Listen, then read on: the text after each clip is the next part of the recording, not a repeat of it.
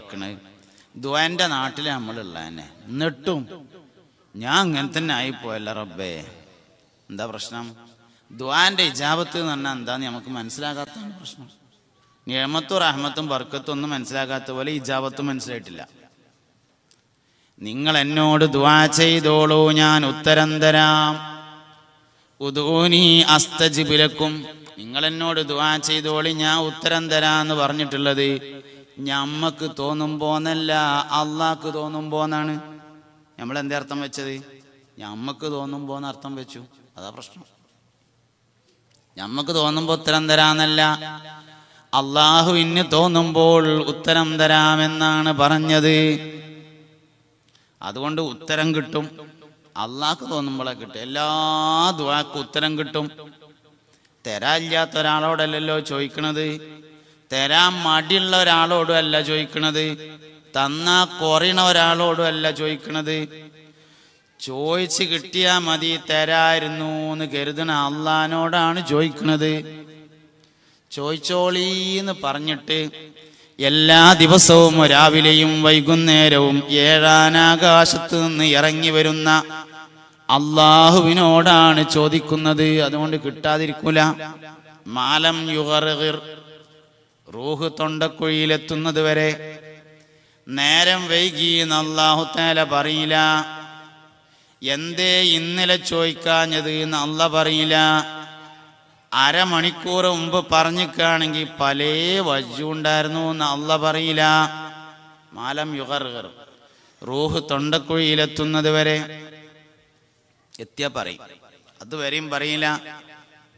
അത് അള്ളാഹുവിന് മാത്രം അവകാശപ്പെടാവുന്ന പ്രത്യേകതയാണ്. പഠിച്ചവന് മാത്രമേ ആ പ്രത്യേകതയുള്ളൂ. അതുകൊണ്ട് ചോദിച്ചാൽ തരാമെന്ന് പറഞ്ഞിട്ടുണ്ട്. എന്തായാലും കിട്ടുമെന്ന് ഉറപ്പിച്ച് ചോദിക്കുക എന്നത് ദ്വായുടെ പത്ത് നിബന്ധനകളിൽപ്പെട്ട ഒന്നാണ്. കിട്ടുവയ്ക്കാരെന്ന് കരുതി ചോദിക്കാൻ പാടില്ല. കിട്ടുമെന്ന് ഉറപ്പിച്ച് ചോദിക്കണം. കാരണം തരാന്ന് പറഞ്ഞ ആളോടല്ലേ ചോദിക്കണേ? തരാന്ന് പറഞ്ഞ അവിടെ ചോദിക്കുമ്പോ പിന്നെ കിട്ടുമെന്ന് ഉറപ്പിച്ച് ചോദിച്ചാൽ എന്താ നമുക്ക്? ചരിത്രത്തിൽ ആദ്യമായി അള്ളാഹുവേ എന്റെ മക്കളെ ശൈത്താനത്തൊട്ട് കാക്കണേന്ന് തോരുന്നത് ബഹുമാനപ്പെട്ട മറിയം ബീവി റളിയല്ലാഹു അൻഹയുടെ ഉമ്മയായ ഹന്നത്ത് ബീവിയാണ്. മക്കളെ നന്നാക്കണേന്ന് നമ്മളൊക്കെ തോർക്കലുണ്ട് സ്വാലിഹാക്കണേന്നൊക്കെ ഉപകാരമുള്ള മക്കളാക്കണേന്ന്. ചെയ്ത്താനെ തൊട്ട് കാക്കണേന്ന് തോർക്കലില്ല അത് തോരുന്നത് ഹന്നത്ത് ബീവിയാണ്. ഇന്നി ഒഴീതുഹാ ബിക വദുരിയതഹാ മിനശ്ശൈത്വാനിർ റജീം ബഹുമാനപ്പെട്ട മറിയം ബീവി റളിയല്ലാഹു അൻഹയുടെ മാതാവ് ഹന്നത്ത് ബീവി ദുആ ചെയ്തു. അള്ളാഹുവേ ഈ കുട്ടിയെയും ഈ കുട്ടിയുടെ സന്താന പരമ്പരയെയും ചെക്കുത്താനത്തൊട്ട് നീ കാക്കണേ റബ്ബേ. എന്ന് തോർന്നു പ്രസവിക്കപ്പെട്ട കുട്ടിയുടെ വലതേ ചെവിയിൽ ബാങ്ക് കൊടുക്കുന്നതോടുകൂടെ ഈ ആയത്തും ഓതിക്കൊടുക്കൽ സുന്നത്തുണ്ടെന്ന് മഹത്തുക്കൾ രേഖപ്പെടുത്തിയിട്ടുണ്ട്. ഇന്നി ഒഴിതുഹാബിക്ക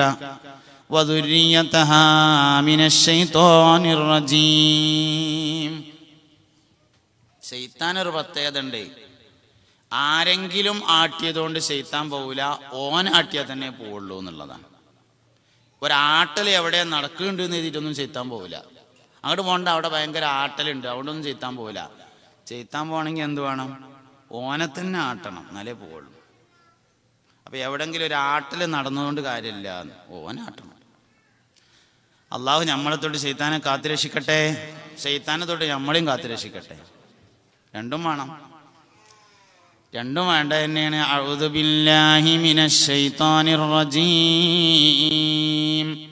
ശൈത്താന് ഏറ്റവും പേടിയുള്ള വചനം അള്ളാഹു എന്ന വചനമാണ്.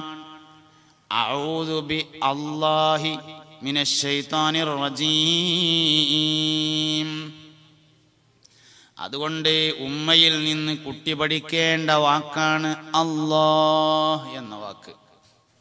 നിരന്തരം പഠിപ്പിക്കണം. കോണി കയറുമ്പോ ഓരോ ചവിട്ടടിയും കയറുമ്പോ അല്ലാ അല്ലാ എന്ന് പറഞ്ഞിട്ട് ഉമ്മ കയറുകയാണെങ്കിൽ കുട്ടി അങ്ങനെ കയറും. ലോകത്ത് നടക്കുന്നത് മൊത്തം അനുകരണങ്ങളാണ്. ലോകത്ത് മൊത്തം അനുകരണമാണ് അനുകരണം അല്ലാത്ത ഒന്നും ഇടല്ല ഒന്നുമില്ല. ഭർത്താവ് ഭാര്യയെ അനുകരിക്കുന്നു ഭാര്യ ഭർത്താവിനെ അനുകരിക്കുന്നു. പെൺകുട്ടികൾ ഉമ്മയെ അനുകരിക്കുന്നു പെൺകുട്ടികൾ ഉപ്പയെ അനുകരിക്കുന്നു ആൺകുട്ടികൾ ഉമ്മയെ അനുകരിക്കുന്നു ആൺകുട്ടികൾ ഉപ്പയെ അനുകരിക്കുന്നു. കുട്ടികൾ ഫോൺ ചെയ്യുന്നത് വാപ്പ ഫോൺ ചെയ്യുന്നത് കേട്ടിട്ടാണ്. വാപ്പ ഫോൺ ചെയ്യുമ്പോൾ എന്താണോ പറയണത്? അതാണ് കുട്ടിയും ഫോൺ ചെയ്യുമ്പോൾ പറയാ പെരയിലുണ്ടായിട്ടു ഇല്ല എന്ന് പറഞ്ഞത് വാപ്പ പറഞ്ഞത് കുട്ടി കേട്ടാൽ കുട്ടി അങ്ങനെ ഫോൺ ചെയ്യുമ്പോൾ പറയുള്ളൂ. ചെറിയ കുട്ടികൾ ഫോൺ എടുത്തിട്ട് ഹലോ എന്ന് പറയില്ലേ? അത് വാപ്പ പറഞ്ഞാട്ടാണ് അത് വാപ്പ പറഞ്ഞാട്ടതാണ് ജന്മന ഒരു മനുഷ്യന് കളവ് പറയാൻ കഴിയില്ല. നമുക്ക് ആർക്കും കഴിയില്ല. ഒരു കുട്ടിക്കും കഴിയില്ല. ജന്മന കളവ് പറയാൻ. കളവ് പറയാൻ വാപ്പ പഠിപ്പിക്കുന്നതാണ് ഉമ്മ പഠിപ്പിക്കുന്നതാണ്. ഉമ്മ ആദ്യമായിട്ട് വാപ്പാനോട് കളവ് പറയും കുട്ടിക്കറിയാം ആ പറഞ്ഞത് കളവാണെന്ന്.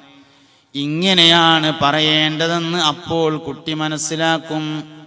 സത്യം പറയാൻ പഠിക്കേണ്ടതില്ല ജന്മസിദ്ധ ഗുണമാണ്. കളവ് പറയാനാ പഠിക്കാനുള്ളത്. അതുകൊണ്ടാണ് വക്കീലാവാൻ പഠിക്കേണ്ടായത്.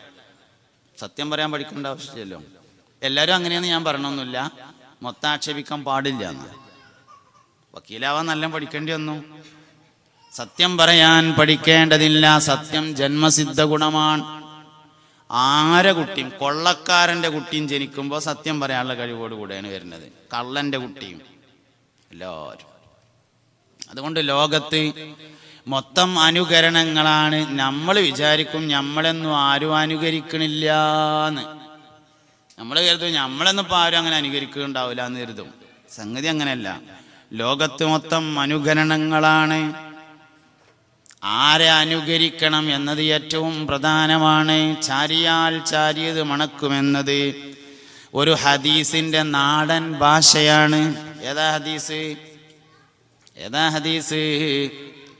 ഇന്നമാ മസലുൽ ജലീസി സാലിഹി വസ്സൂഇ കഹാമിലിൽ മിസ്കി വനാഫിഹിൽ കീർ.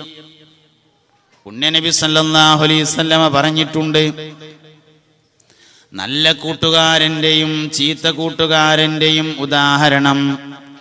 കഹാമിലിൽ മിസ്കി അഫിഹിൽ കീർ. കസ്തൂരി വാഹകനെ പോലെയും ഉലയിൽ ഊതുന്നവനെ പോലെയുമാണ്. നല്ല കൂട്ടുകാരന്റെ ഉദാഹരണം സെന്റച്ചോടക്കാരന്റെ മാതിരിയാണ്. സെന്റച്ചോടക്കാരന്റെ ഒപ്പം കൂടിയാൽ കായുണ്ടെങ്കിൽ രണ്ട് റുപ്യക്ക് സെന്റ് വാങ്ങാം. അല്ലെങ്കിലോ? അല്ലെങ്കിൽ അത് മൂന്നാമത്തതാ. രണ്ടാമത്തത് ഓൻ ആർക്കെങ്കിലും സെന്റ് ഒഴിച്ചു കൊടുക്കുമ്പോൾ കയ്യുമ്മ കൂടെ പോണത് നമ്മളെ മേത്ത് തേച്ച് തരും. അതാണ് രണ്ടാമത്തെ മൂന്നാമത്തെ നിങ്ങൾ പറഞ്ഞത് ശരിയാണ്. കയ്യുമ്മ കൂടെ ഒലിക്കണില്ല. മൂപ്പര് ഫില്ലറോണ്ടൊക്കെ എടുത്തിട്ട് ഇങ്ങനെ ഒറ്റിക്കണ പിസ്കനായ കച്ചവടക്കാരനാണ്. എന്നാലോ മണം കിട്ടും. അതേതായാലും ഒന്ന് തടുത്താൻ നിൽക്കൂലല്ലോ നല്ല കൂട്ടുകാരന്റെ മണം തെടുത്ത നിൽക്കൂല ചീത്ത കൂട്ടുകാരന്റെ ഉദാഹരണം ഉലയിൽ ഊതുന്ന കൊല്ലപ്പണിക്കാരൻ കരുവാന്റെ മാതിരിയാണ്. ഓന്റെ അടുത്ത് പോയിരുന്നാലോ എത്ര ദൂരെ ഇരുന്നാലും തുണിങ്കുപ്പായ ഓട്ടാകൽ നിർബന്ധാണ്. കറുത്ത പുകയുള്ള കറുത്ത കരിയുള്ള പുക മൂക്കിലൂടെ കയറിയിട്ട് ആസ്തമ രോഗം വൈകാതെ വരിക എന്നത് ഉറപ്പാണ്. ഒരു മേട്ടുമില്ല എന്നർത്ഥം. അതുകൊണ്ട് കൂട്ടുകാരൻ എന്നത് വളരെ പ്രധാനപ്പെട്ട ഒരു കാര്യമാണ്. ലോകത്ത് നടക്കുന്നത് മൊത്തം അനുകരണാണ് ഒരു ഭാര്യയും ഭർത്താവും കൂടിയും ഒരു കുട്ടിനെ ഒരു സാങ്കല്പികമായ കഥയാണ് ഒരു പാടുള്ള കഥ. ഒരു ഭാര്യയും ഭർത്താവും കൂടി ഒരു കുട്ടിനെ ഒരു സൈക്കോളജിസ്റ്റിന്റെ അടുത്ത് കൊണ്ടുപോയി. അങ്ങനെ ഭർത്താവ് പറഞ്ഞു ഈ കുട്ടി തീരെ പറഞ്ഞാൽ കേൾക്കൂല ഭാര്യ പറഞ്ഞു ഒന്നും പഠിക്കൂല. ഭർത്താവ് പറഞ്ഞു നേരത്തെ നീക്കൂല. ഭാര്യ പറഞ്ഞു ഭക്ഷണം തീരെ കഴിക്കൂല. അങ്ങനെ ഒരു തലക്കെന്ന് പറഞ്ഞു അവസാനം അയാൾ ചോദിച്ചു ഈ കുട്ടിയുടെ നിറം ആരതാന്ന് ചോദിച്ചു? അപ്പൊ ഇതിന് ഭാര്യയാണ് ചാടിയില്ല. അതിലെ മൂപ്പര തന്നെ കാർത്തിട്ട്. മൂപ്പര നിറം. ഈ കുട്ടിയുടെ മുഖത്തിന്റെ ഷെയ്പ്പ് ആരതാന്ന് ചോദിച്ചു. അവൻ മറ്റാളും ചാടി. അതാ ഓളെ തന്നെ കണ്ടില്ലേ മൂക്ക് കൂർത്തിട്ട്. അങ്ങനെ ഓരോന്നും ചോദിച്ചു. അവസാനം ചോദിച്ചു ഈ കുട്ടിയുടെ സ്വഭാവം ആരുതാന്ന് ചോദിച്ചു. അപ്പൊ രണ്ടാളും മുണ്ടണില്ല. വാപ്പിമ്മ എന്താണോ അതന്നെയാണ് കുട്ടിയുടെ സ്വഭാവം എന്ന് പറയണതേ. ഓരോ പ്രയോഗങ്ങൾ വരെ വീട്ടിൽ നിന്ന് കിട്ടുന്നതാണ് ചില കുട്ടികൾ മദ്രസയിൽ വന്നാൽ ചില കുട്ടികൾ മദ്രസയിൽ വന്നാൽ വാലുള്ളതിന്റെ ഒക്കെ പേരിങ്ങനെ പറയും. വാലുള്ള സാധനങ്ങളുടെ ഒക്കെ പേരിങ്ങനെ എണ്ണി എണ്ണി പറയും. പേരേന്ന് കിട്ടണതാണത്. അല്ലാതെ റോഡ് സൈഡിൽ നിന്ന് ആരും ഇപ്പം ഈ വാലുള്ളതിന്റെ പേര് പറഞ്ഞു കൊടുക്കാൻ നിൽക്കണമൊന്നുമില്ലല്ലോ ഇനി പറഞ്ഞു കൊടുത്താൽ തന്നെ അത് വിളിക്കാൻ പറ്റിയെന്ന് മനസ്സിലാക്കിയത് പെരയെന്നല്ലേ അപ്പോൾ വാലുള്ള സാധനങ്ങളുടെ പേരൊക്കെ പെരയെന്ന് പഠിക്കണതാണ്. ഓരോ പ്രയോഗങ്ങളും വീട്ടിൽ നിന്നാണ് പഠിക്കുന്നത് ഇതിൽ ഏറ്റവും കൂടുതൽ ഒരു മനുഷ്യൻ അനുകരിക്കുന്നത് ഉമ്മയെയാണ്. എന്നാൽ ഉപ്പയെ അനുകരിക്കുന്ന കുറേ സ്വഭാവമുണ്ട്. സാമൂഹികമായ പെരുമാറ്റങ്ങൾ ഉപ്പയിൽ നിന്നാണ് അനുകരണം. അത് ഉമ്മയെന്നല്ല. പരിശുദ്ധമായ ദീന് പറഞ്ഞാൽ ഖുറാനും ഹദീസും പള്ളികൾക്ക് മാത്രമുള്ളതല്ല. ഖുറാനും ഹദീസും പള്ളികൾക്ക് മാത്രമുള്ളതല്ലല്ലോ. അത് പെരേക്കുള്ളതാണല്ലോ. അത് പെരയിലും വേണ്ടേ. പള്ളിയിൽ മാത്രം ഖുറാനും ഹദീസും. പെരയെ ചെന്നാൽ വേറൊരു കോല അങ്ങനെ പറ്റില്ല നമ്മളെ പെരയും ഖുറാനും ഹദീസും തന്നെ ആയിരിക്കണം. ഇസ്ലാം എന്ന് പറയുന്നത് പ്രമാണങ്ങളല്ല മൂമിന്റെ ജീവിതമാണ് പ്രായോഗികമായിരിക്കണം എപ്പോഴും. പരിശുദ്ധമായ ദീൻ പ്രായോഗികമായ കാര്യങ്ങൾ മാത്രമേ പറയണുള്ളൂ. ദീനനുസരിച്ച് ജീവിക്കലാണ് ഏറ്റവും സുഖകരമായ ജീവിതം. അത് നമുക്ക് മനസ്സിലാകാൻ പ്രയാസമായതുകൊണ്ട് അങ്ങനെ തോന്നിയതാണ്. മനസ്സിലാകാൻ പ്രയാസമായതുകൊണ്ട് അങ്ങനെ തോന്നിയതാണ്. സത്യം പറഞ്ഞാൽ ഒരാൾ സത്യം പറഞ്ഞാൽ എപ്പോഴും സത്യം തന്നെ പറഞ്ഞാൽ മതിയാവും. ഒരാൾ കളവ് പറഞ്ഞാൽ ആ കളവടക്കാൻ വേറൊരു കളവ് പറയേണ്ടി വരും. അപ്പോൾ അതിനെ അടക്കാൻ രണ്ട് കളവ് പറയേണ്ടി വരും. അപ്പോൾ അതിനടക്കാൻ രണ്ടിനും ഈരണ്ടെണ്ണം വീതം വെച്ചിട്ട് നാല് കളവ് പറയേണ്ടി വരും. അങ്ങനെയാണ്. നേരെ മതി സത്യമാണെങ്കിലോ? ഒരു പ്രശ്നം ഉണ്ടാവില്ല. ഈ കളവ് പറയലേ എവിടുന്ന് തുടങ്ങണ അറിയങ്ങൾ കുട്ടി സംസാരിക്കാൻ തുടങ്ങുന്ന സന്ദർഭം മുതൽ തുടങ്ങുന്നുണ്ട് അള്ളാഹു സുബാനുവത്തേലെ കുട്ടികളിൽ ഒരുപാട് അടയാളങ്ങൾ വെക്കുന്നുണ്ട് നമുക്ക് കാണാൻ വേണ്ടിയിട്ട്. ഒരുപാട് അടയാളം. നമുക്കറിയാൻ വേണ്ടിയിട്ടുള്ള അടയാളങ്ങൾ കുറേ ഉണ്ട്. ആരുമില്ലാത്ത സമയം നോക്കിയിട്ട് കുട്ടി ഇങ്ങനെ സ്വകാര്യത്തിൽ ഉമ്മാന്റെ അടുത്ത് വന്നിട്ട് നാല് വയസ്സുകാരൻ മുലൊടിക്കണ ചെറിയ കുട്ടി ഉമ്മാന്റെ അടുത്ത് ഇങ്ങനെ കിടക്കുന്നുണ്ട്. ഉമ്മ പ്രസവിച്ച് കിടക്കുകയാണ്. പരിസരമൊക്കെ നന്നായി നിരീക്ഷിച്ചതിന് ശേഷം നാല് വയസ്സുകാരൻ ഉമ്മാന്റെ അടുത്ത് വന്നിട്ട് ചോദിക്കും ഉമ്മ കുഞ്ഞിവാവാന എവിടുന്ന് കിട്ടിയതാണ്? അപ്പം ഉമ്മ എന്ത് പറഞ്ഞു? അത് ഉമ്മക്ക് ആശുപത്രിയിൽ നിന്ന് കിട്ടിയതാണ് എന്ന് പറഞ്ഞു. അവൻ മനസ്സിലാക്കി ഒരു മൂന്ന് കൊല്ലം മുമ്പ് എന്നെയും ഇതുപോലെ ആശുപത്രിയിൽ നിന്ന് കിട്ടിയതാണെന്ന്. ഇതൊരു നിസ്സാരമായ കാര്യമല്ല കേട്ടോ ലൈംഗിക വിദ്യാഭ്യാസമാണ് അവൻ ചോദിക്കുന്നത്. ലൈംഗിക വിദ്യാഭ്യാസം കുട്ടികൾ മാതാപിതാക്കളിൽ നിന്ന് പഠിക്കേണ്ടതാണ്. വലുതായാൽ പഠിപ്പിക്കാൻ കഴിയാത്ത വിദ്യാഭ്യാസമാണ് ലൈംഗിക വിദ്യാഭ്യാസം. ഇത് ചോദിക്കുന്ന കുട്ടിനെ നമ്മൾ ശരിക്കും നിരീക്ഷിച്ചാൽ അറിയാൻ പറ്റും. ശരിക്കും പരീക്ഷ പരിസരമൊക്കെ നന്നായി നിരീക്ഷിച്ച് ആരുമില്ല എന്ന് ഉറപ്പുവരുത്തുമ്പോഴാണ് വന്നിട്ട് ചോദിക്കണത്. ആ കുട്ടിക്ക് അത് നേരങ്ങത്തിൽ പറഞ്ഞു കൊടുത്താൽ മതിയല്ലോ. എന്താ അതിന് കുഴപ്പം? എന്താ അപ്പം അത് പറഞ്ഞു കൊടുത്താൽ ഒരു പ്രശ്നമുള്ളത്? തൂക്കാൻ വിധിച്ചോ? എന്തിനെ പറ്റി അങ്ങനെ പറഞ്ഞു എന്നാരേലും ചോദിക്കുവോ? ലൈംഗിക വിദ്യാഭ്യാസം കുട്ടികൾക്ക് മാതാപിതാക്കളിൽ നിന്നു ലഭിക്കേണ്ടതാണ്. മനുഷ്യന്റെ അടിസ്ഥാനപരമായ ഒരു ആവശ്യമാകുന്നു ലൈംഗികത. അടിസ്ഥാനപരമായ ആവശ്യങ്ങളെ നിഷേധിച്ചിട്ട് കാര്യമില്ല ഉൾക്കൊണ്ടിട്ടേ കാര്യമുള്ളൂ. അത് ഉൾക്കൊള്ളാ വേണ്ടത്. അത് നിഷേധിച്ചിട്ട് കാര്യമില്ലല്ലോ. പരിശുദ്ധമായ ദീൻ അത് അടിസ്ഥാനപരമായ ആവശ്യമാണെന്ന് മനസ്സിലാക്കുകയും ഉൾക്കൊള്ളുകയുമാണ് ചെയ്തിട്ടുള്ളത്. അല്ലെങ്കിൽ എന്തിനാ ഈ തോന്നിയ നിൽക്കണേ? ഒരാവശ്യമില്ലല്ലോ അത് മനുഷ്യന്റെ അടിസ്ഥാനപരമായ ഒരു ആവശ്യമാണെന്ന് മനസ്സിലാക്കി ദീൻ അത് ഉൾക്കൊള്ളുകയാണ് ചെയ്തിട്ടുള്ളത്.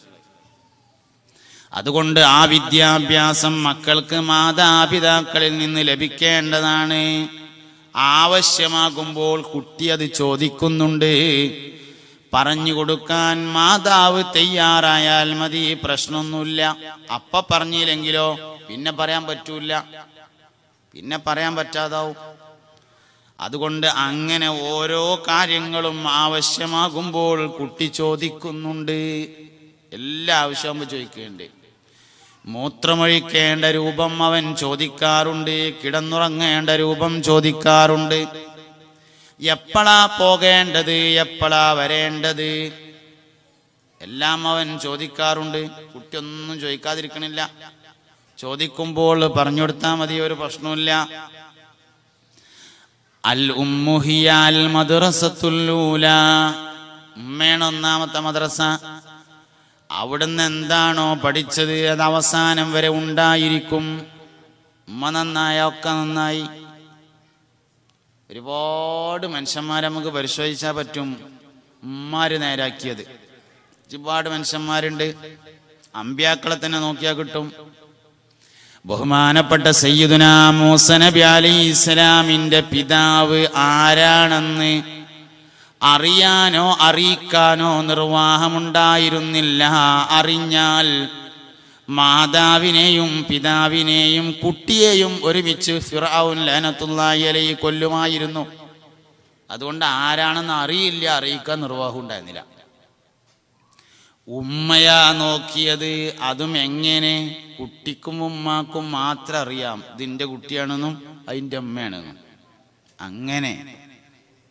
അങ്ങനെ നോക്കിയതാണ് അള്ളാഹു റബ്ബുൽ ഇസ്സത്ത് പുഴയിലെറിയുന്നതിന്റെ മുമ്പായി മൂസാ നബി അലൈഹി ഇസ്ലാമിന്റെ ഉമ്മയോട് വഹിയറിയിക്കുന്നത് ഖുർആൻ പറഞ്ഞിട്ടുണ്ട്.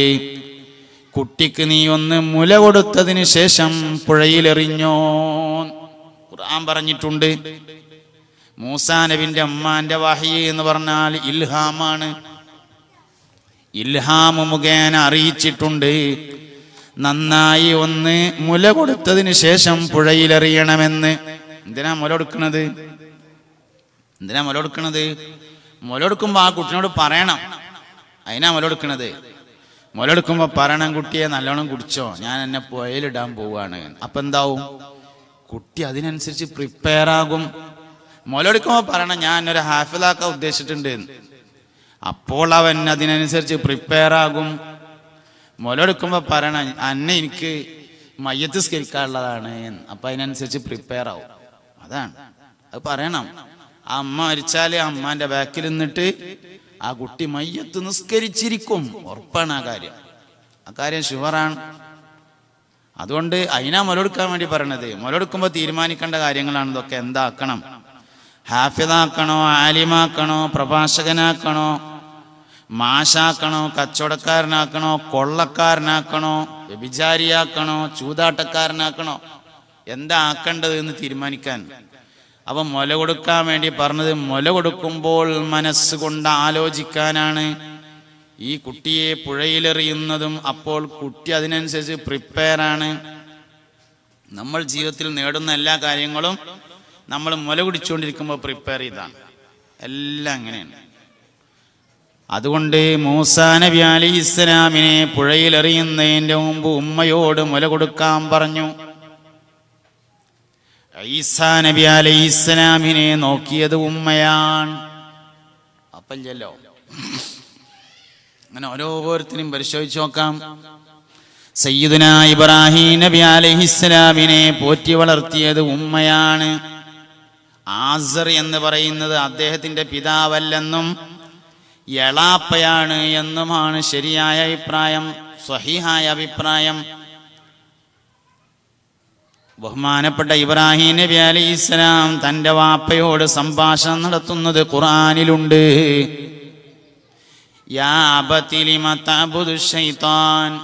വാപ്പ നിങ്ങൾ എന്തിനാണ് ചെക്കുത്താൻ ആരാധിക്കുന്നത് എന്ന് ചോദിച്ചേ.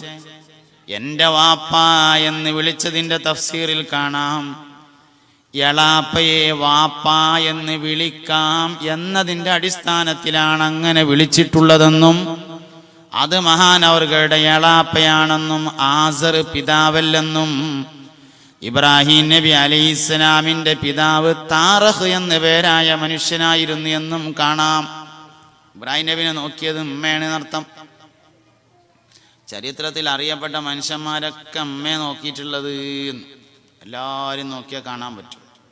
സഹാബാക്കളിൽ നിന്ന് പ്രമുഖരായ പലരെയും ഉമ്മയാണ് നോക്കിയത്. താബിയുകളും അങ്ങനെ തന്നെ.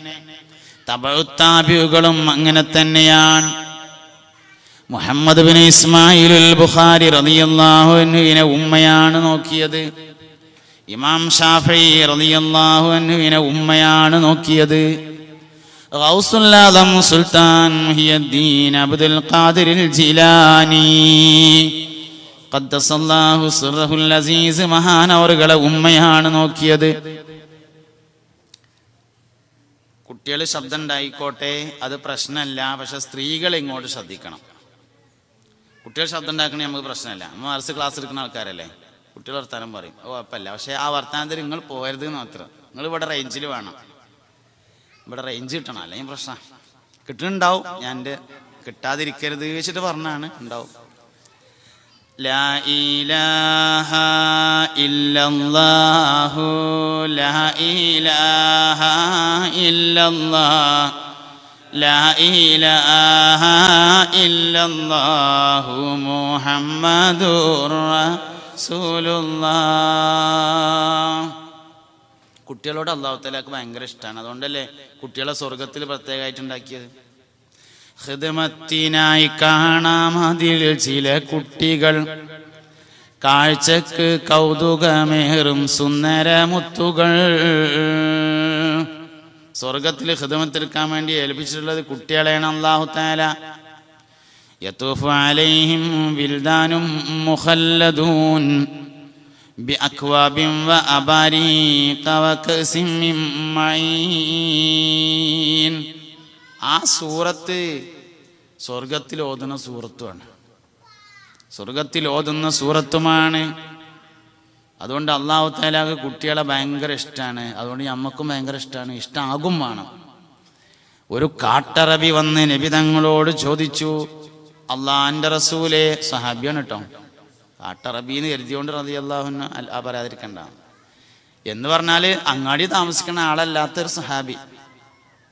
ഒരു കാട്ടറബി വന്ന് നബിതങ്ങോട് ചോദിച്ചു പുണ്യനബിയേ നിങ്ങൾ കുട്ടികളെ ചുംബിക്കാറുണ്ടോ? ഞങ്ങളാരും ചുംബിക്കലില്ലല്ലോ അപ്പ നബി തങ്ങൾ പറഞ്ഞു നിന്റെ കൽബിൽ അള്ളാഹു റഹ്മത്ത് ഇട്ട് തരാത്തതിന് ഞാൻ എന്ത് ചെയ്യാനാ? എന്റെ കൽബിൽ റഹ്മത്തില്ലാത്തതിന് ഞാൻ എന്ത് കാട്ടാനാന്ന് ചോദിച്ചു. ഇതേ അർത്ഥത്തിലുള്ള ഒരു വാക്ക് ചോദിച്ചു എന്നർത്ഥം. അത് മലയാളത്തിൽ കൊണ്ടുവന്നപ്പോൾ ചെറിയ വ്യത്യാസം വന്നിട്ടുണ്ട് എന്ന് മാത്രം. അങ്ങനെ. അപ്പൊ നമ്മുടെ കൽബിൽ റഹ്മത്തുണ്ട് എന്നതിന്റെ ഭാഗമാണ് കുട്ടികളോട് നമ്മൾ താല്പര്യം കാണിക്കുന്നത് നല്ലതാണ്. പക്ഷെ ചില ശ്രദ്ധകൾ ആവശ്യമാണ് കേട്ടോ. ചില ശ്രദ്ധകൾ ആവശ്യമാണ്. അത് വിഷയത്തിൽ നിന്ന് മാറുന്നുണ്ട് എന്നാലും പറയാം. എന്താ വെച്ചാൽ സംഗതി നമ്മളെ കുട്ടി തന്നെയാണ്. നമുക്ക് നമ്മളെ കുട്ടിയോട് നല്ല താല്പര്യം ഉണ്ടാവും. പക്ഷേ നമ്മൾ എപ്പോഴും കണ്ണേറ് തട്ടുന്നതിനെ നന്നായി ശ്രദ്ധിക്കണം. അത് ശ്രദ്ധിക്കേണ്ട ഒരു കാര്യമാണ്. എങ്ങനെ ശ്രദ്ധിച്ചാലും കണ്ണേറ് തട്ടുക കണ്ണേറ് എന്ന് പറഞ്ഞാൽ നമ്മളെ കണ്ണ് തന്നെ നമ്മളെ കുട്ടിക്ക് തട്ടുവേ. വേറെ പുറത്തുള്ളത് നോക്കണ്ട. എന്റെ കുട്ടി ഭയങ്കര ഉഷാറാണ്. എന്റെ കണ്ണ് എനിക്ക് തട്ടും. അതെങ്ങനെ? ഞാൻ ഇപ്പം അത്യാവശ്യം തിരക്കിടില്ലാന്ന് തോന്നിയാൽ പിറ്റേന്ന് ബാക്കിൽ കഴിക്കാരോ വേറെ ഉള്ളത് പിന്നെ അടക്കട്ടെ. അങ്ങനെ തോന്നി എന്താ വേണ്ടത്? ലാഹൗല കൊണ്ട് ചികിത്സിക്കണം. ലാഹൗല ലേഹ്യം എപ്പോഴും കഴിക്കേണ്ടതാന്ന് താഴ്വസ്ഥ പറഞ്ഞിട്ടുണ്ട്. ആ ലേഖം കുപ്പിയിലാക്കി കൊണ്ടുവന്നിട്ട് ഇടക്കിടക്കെടുത്ത് തന്നെ അതന്നെ പരിപാടി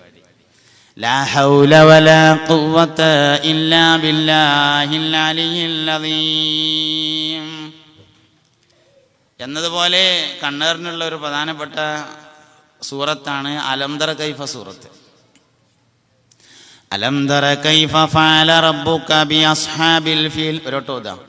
അലംദർ കൈഫ ഫാല റബ്ബുക ബി അസ്ഹാബിൽ ഫീൽ. അലം യജഅൽ കൈദഹും ഫീ തദ്ലീൽ فأرسل عليهم طيرا أبابيل ترميهم بحجارة من سجيل فجعلهم كعصف مأكول അള്ളാഹു നമ്മളെയും നമ്മളെ കുടുംബത്തെയും നമ്മളെ ഭാര്യ മക്കളെയും നമ്മളെ സന്താനങ്ങളെയും വേണ്ടപ്പെട്ടവരെയും എല്ലാം കണ്ണേറിനെ തൊട്ട് കാത്തുരക്ഷിക്കട്ടെ. പൈശാചികമായ എല്ലാ ഉപദ്രവങ്ങളെ തൊട്ടും സലാമത്താക്കട്ടെ. അപ്പം അമ്മമാര് നോക്കിയ നോക്കിയ കുട്ടികളെ പരിചയപ്പെടുത്തിയതാ ഞാൻ ഹൗസുല്ലാദം അതിൽ പ്രധാനപ്പെട്ട ഒരാളാ.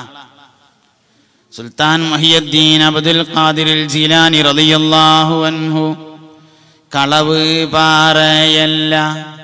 എന്നും ചൊന്ന ആരെ? കള്ളന്റെ കയ്യിൽ പൊന്ന് കൊടുത്തോവർ. ഒരു ഉമ്മ കുട്ടിക്കൊടുത്ത ഉപദേശമാണ്. കളവ് പറയല്ലാന്ന്. ഉമ്മ കുട്ടിക്കൊടുത്ത ഉപദേശം. കളവ് പറയുന്ന മനുഷ്യൻ ഒന്നിനും പറ്റാത്തവനാണ്. അവനൊന്നിനും പറ്റില്ല അതുകൊണ്ട് സിദുക്ക് എന്ന് പറയുന്നത് അമ്പിയാക്കളുടെ ഗുണമാണ്.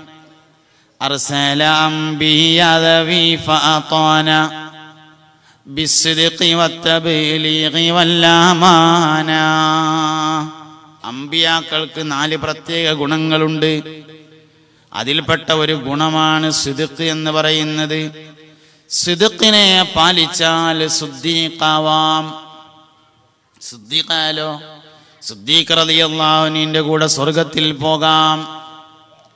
ബഹുമാനപ്പെട്ട സുദ്ദീഖുൽ അക്ബർ സ്വർഗത്തിന്റെ എട്ട് വാതിലുകളും തുറക്കപ്പെടുന്നതാണ്. അങ്ങനെ ആവാൻ പറ്റും. മനുഷ്യൻ എത്തിപ്പിടിക്കാൻ കഴിയാത്ത ഒരു മേഖലയില്ല. മലക്കുകൾക്ക് പോകാൻ പറ്റാത്തടത്തേക്ക് മനുഷ്യന് പോകാം. അതാണ് മേറാജ്.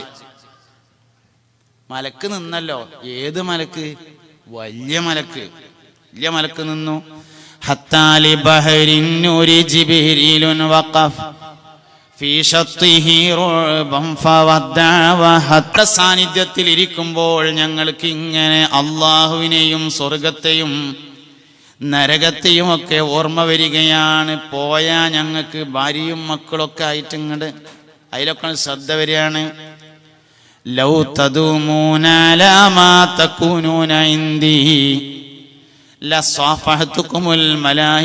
അലാ വഫീ റസൂലുള്ളാഹി.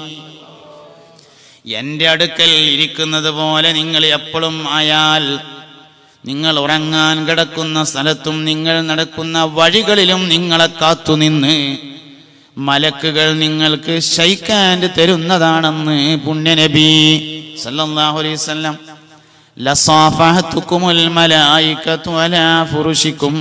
വഫീ നിങ്ങളുടെ വഴികളിലും വിരിപ്പുകളിലും മലക്കുകൾ നിങ്ങൾക്ക് കൈതരാൻ വേണ്ടി കാത്തു നിൽക്കുന്നതാണ്. അതുകൊണ്ട് മനുഷ്യൻ നന്നായാൽ മലക്കുകളെ മേലെ പോകാം.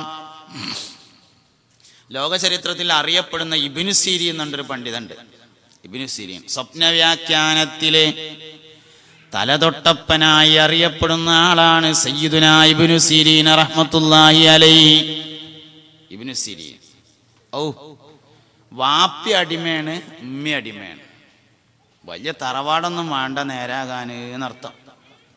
ഇബിനു സിരീന്റെ വാപ്പയും അടിമയാണ് ഇബിനു സിരീന്റെ ഉമ്മയും അടിമയാണ്.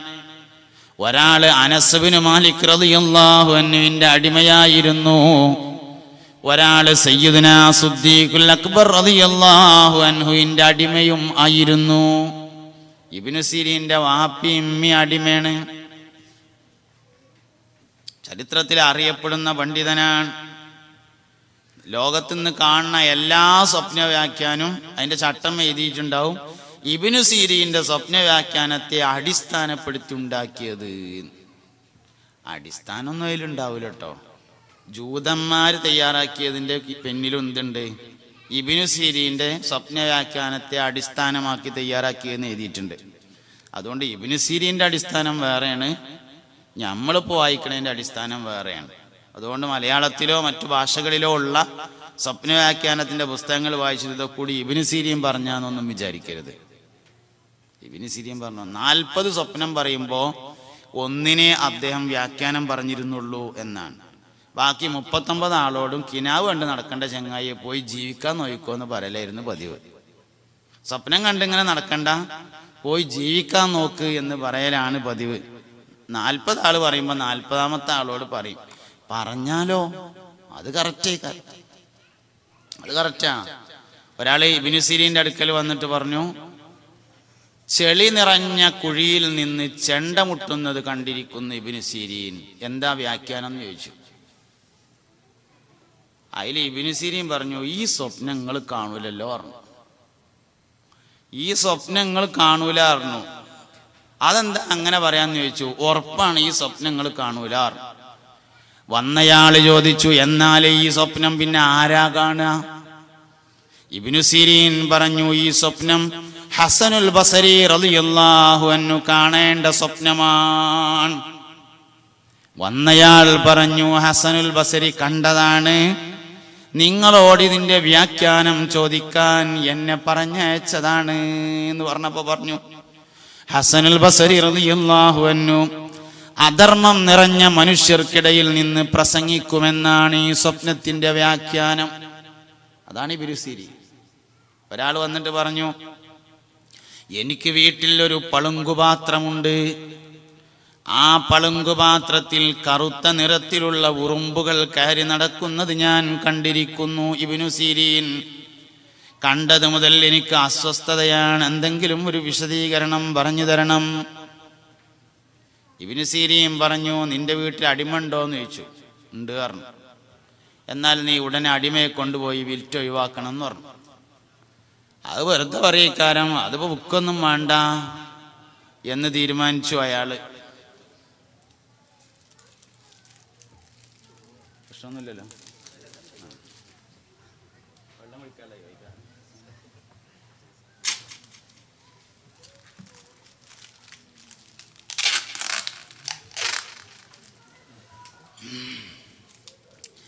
لا إله إلا الله لا إله إلا الله لا إله إلا الله محمد رسول الله ألف الألف نظام مده أعلى الأهل أهل أول السطور باسم الله بدء القال قال. إلا الله لا إله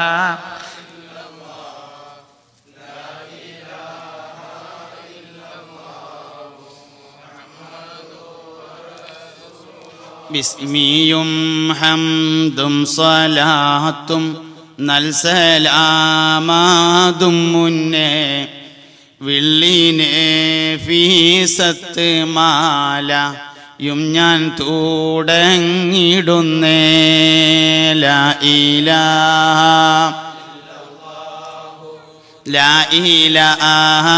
ഇല്ലല്ലോ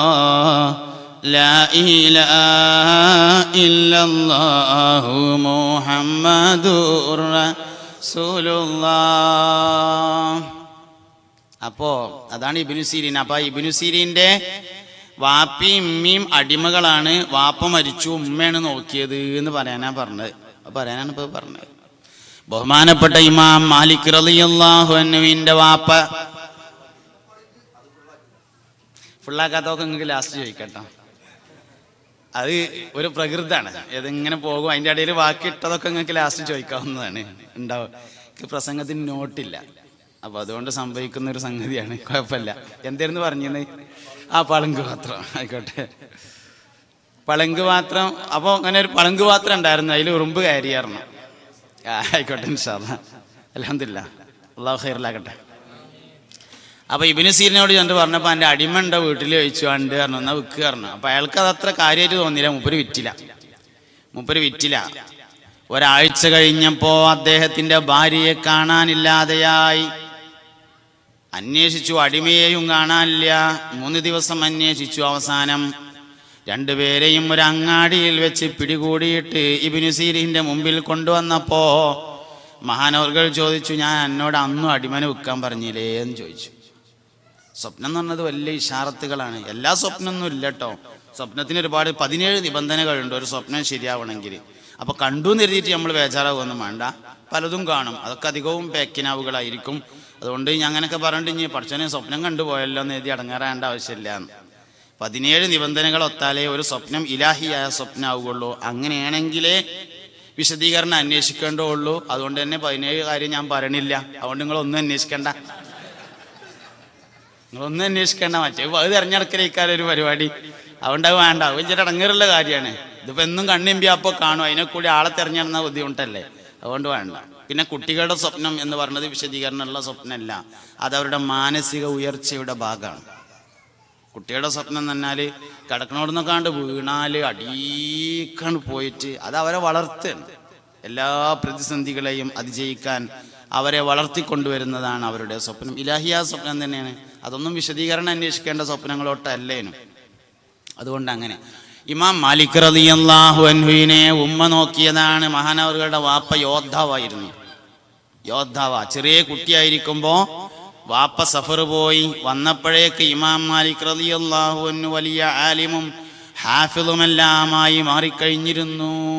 ഇങ്ങനെ നമ്മൾ പരിശോധിച്ചാൽ ഒരുപാട് മനുഷ്യന്മാര് ചരിത്രത്തിൽ അറിയപ്പെടുന്ന ധാരാളം ആളുകളെ ഉമ്മ നോക്കിയതാണ്.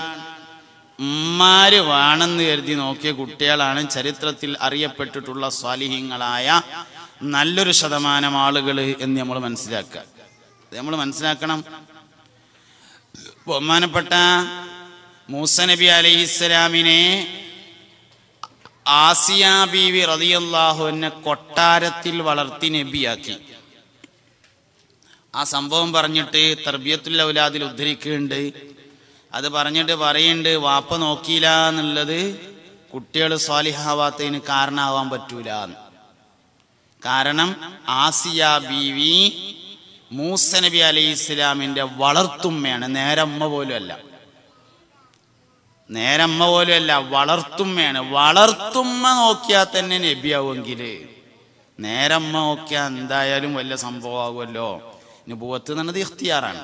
എന്തായാലും സാലിയാവുമല്ലോ സാലിഹാവുമെങ്കിൽ നല്ല നിലയ്ക്ക് നടത്താൻ പറ്റുമെങ്കിൽ നുപൂവത്ത് എന്നത് ഇഖ്തിയാറല്ല എന്നാണ് അത് അള്ളാഹുവിങ്കിൽ നിന്നുള്ള ഇസ്തിഫ ആണ്. അതുകൊണ്ട് നല്ല മനുഷ്യനാകുക എന്ന് പറഞ്ഞാൽ അമ്മ വിചാരിക്കുക എന്നുള്ളത് തന്നെയാണ് ഏറ്റവും പ്രധാനപ്പെട്ട ഒരു കാര്യം. ഒരു ഉമ്മ കുട്ടിയെ എന്താണോ പഠിപ്പിച്ചത് അത് കുട്ടിയിലുണ്ടാവും കുട്ടിയുടെ എല്ലാ സ്വഭാവവും ഉമ്മാന്റെ അടുത്ത് നിന്നുള്ളതാണ്.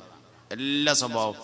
സംസാരങ്ങൾ വരെ ഉമ്മയിൽ നിന്നുള്ളതാകുന്നു. പെരുമാറ്റം അങ്ങനെയാണ് സ്വഭാവം അങ്ങനെയാണ് മാനസികാവസ്ഥയും അങ്ങനെയാകുന്നു.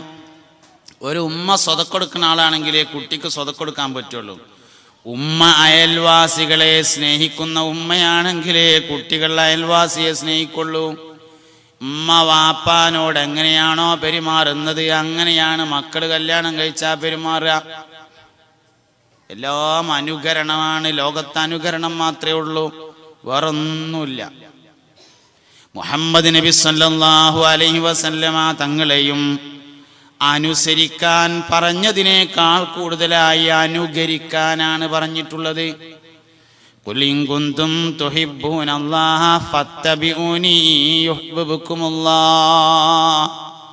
നിങ്ങൾ അള്ളാഹുവിനെ ഇഷ്ടപ്പെടുന്നുവെങ്കിൽ എന്നെ അനുകരിക്കണമെന്നാണ്. അനുസരിക്കുക എന്ന് പറഞ്ഞാൽ പറഞ്ഞതിന്റെ ന്യായാന്യായങ്ങൾ നോക്കി പ്രവർത്തിക്കലാണ്. അതിനാണ് അനുസരണം എന്ന് പറയുന്നത് അനുകരണം എന്ന് പറഞ്ഞാൽ ന്യായാന്യായങ്ങൾ നോക്കാതെ ചെയ്തതുപോലെ ചെയ്യലാണ്. അതെന്തിനാന്നൊന്നും നോട്ടല്ല. അങ്ങനെ ചെയ്തു അപ്പം അങ്ങനെ തന്നെ ആയിക്കോട്ടെ. അങ്ങനെ. കുത്തുമ്പക്ക് മെമ്പറിൽ കയറിയപ്പോ നബിതങ്ങൾ ഒരീസം വാളെടുത്തു. അപ്പൊ എന്തിനാ വാളെടുക്കണത്? ഇപ്പൊ കൂട്ടുമെന്ന് ഉഗ്ഗൊന്നുമില്ലല്ലോ എന്നാലും നബിതങ്ങൾ എടുത്തില്ലേ? എടുക്കന്നെ. അതാണ് അനുകരണം. അതാണ് അനുകരണം എന്ന് പറഞ്ഞത്. നബി തങ്ങൾ നടക്കണ അതേമാതിരി നടക്കണ സഹാബത്തുണ്ടായിരുന്നു. നബി നടക്കണ അതേമാതിരി നടക്കും. നബി തങ്ങൾ സംസാരിക്കും പോലെ സംസാരിക്കും. പുണ്യ നബി സല്ലല്ലാഹു അലൈഹി വസല്ലമ വസ്ത്രം ധരിക്കുന്നത് പോലെ വസ്ത്രം ധരിക്കും. അനുകരണം മാത്രമല്ല നബിതങ്ങളുടെ ഓരോ കാര്യങ്ങളിലും അവർ പിന്തുടരും. അബൂ മഹദൂറ എന്നൊരു സഹാബി ഉണ്ടായിരുന്നു റളിയല്ലാഹു അൻ അബൂ മഹദൂറക്ക് ഒറ്റ കുഴപ്പമേ ഉള്ളൂ. അലാക്കിന്റെ മുടി ഉണ്ടായിരുന്നു. എല്ലാം നിങ്ങളുള്ള മുടി. അതിങ്ങനെ ചുരുട്ടി കെട്ടി വെക്കും. എല്ലാ ഭക്തനും പള്ളിക്കണ്ടാവും. വളരെ ഉഷാറാണ്. ഒരു ദിവസം സഹാബത്ത് അബൂ മഹദൂരോട് പറഞ്ഞു അബൂ മഹദൂറെ നിങ്ങൾ നല്ല മനുഷ്യനാണ്. നല്ല ആബിദാണ്. എല്ലാവരാലും അംഗീകരിക്കപ്പെട്ട സ്വഹാബിയാണ്. ഈ മുടി ഒന്ന് വെട്ടിക്കൂടെ വെച്ചു അല്ല തഹലീഖിഹ. നിങ്ങൾക്ക് ഈ മുടി ഒന്ന് വെട്ടിക്കൂടെ?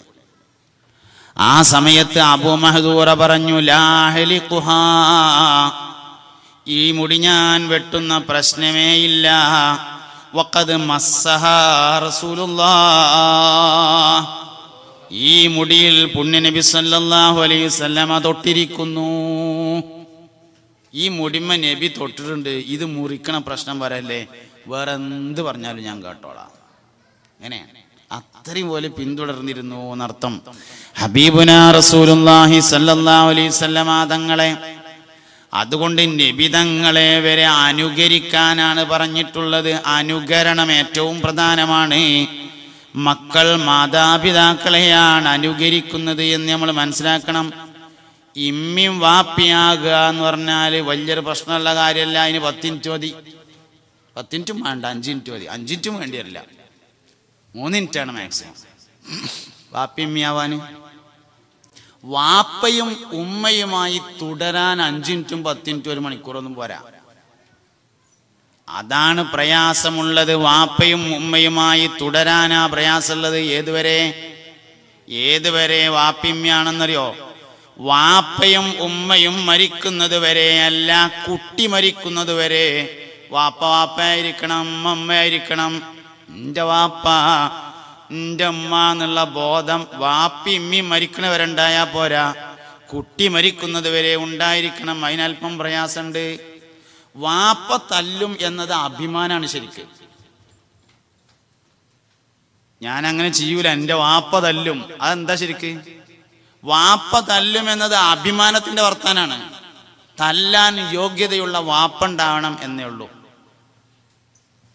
നോക്കിയില്ലെങ്കിൽ ആരും കേടുവരും നമ്മളും കേടുവരും നോക്കാൻ ഒരാൾ അത്യാവശ്യമാണ് മാതാപിതാക്കളെ മക്കൾ ബഹുമാനിക്കുന്നില്ലെങ്കിൽ മക്കളുടെ കുഴപ്പമില്ല.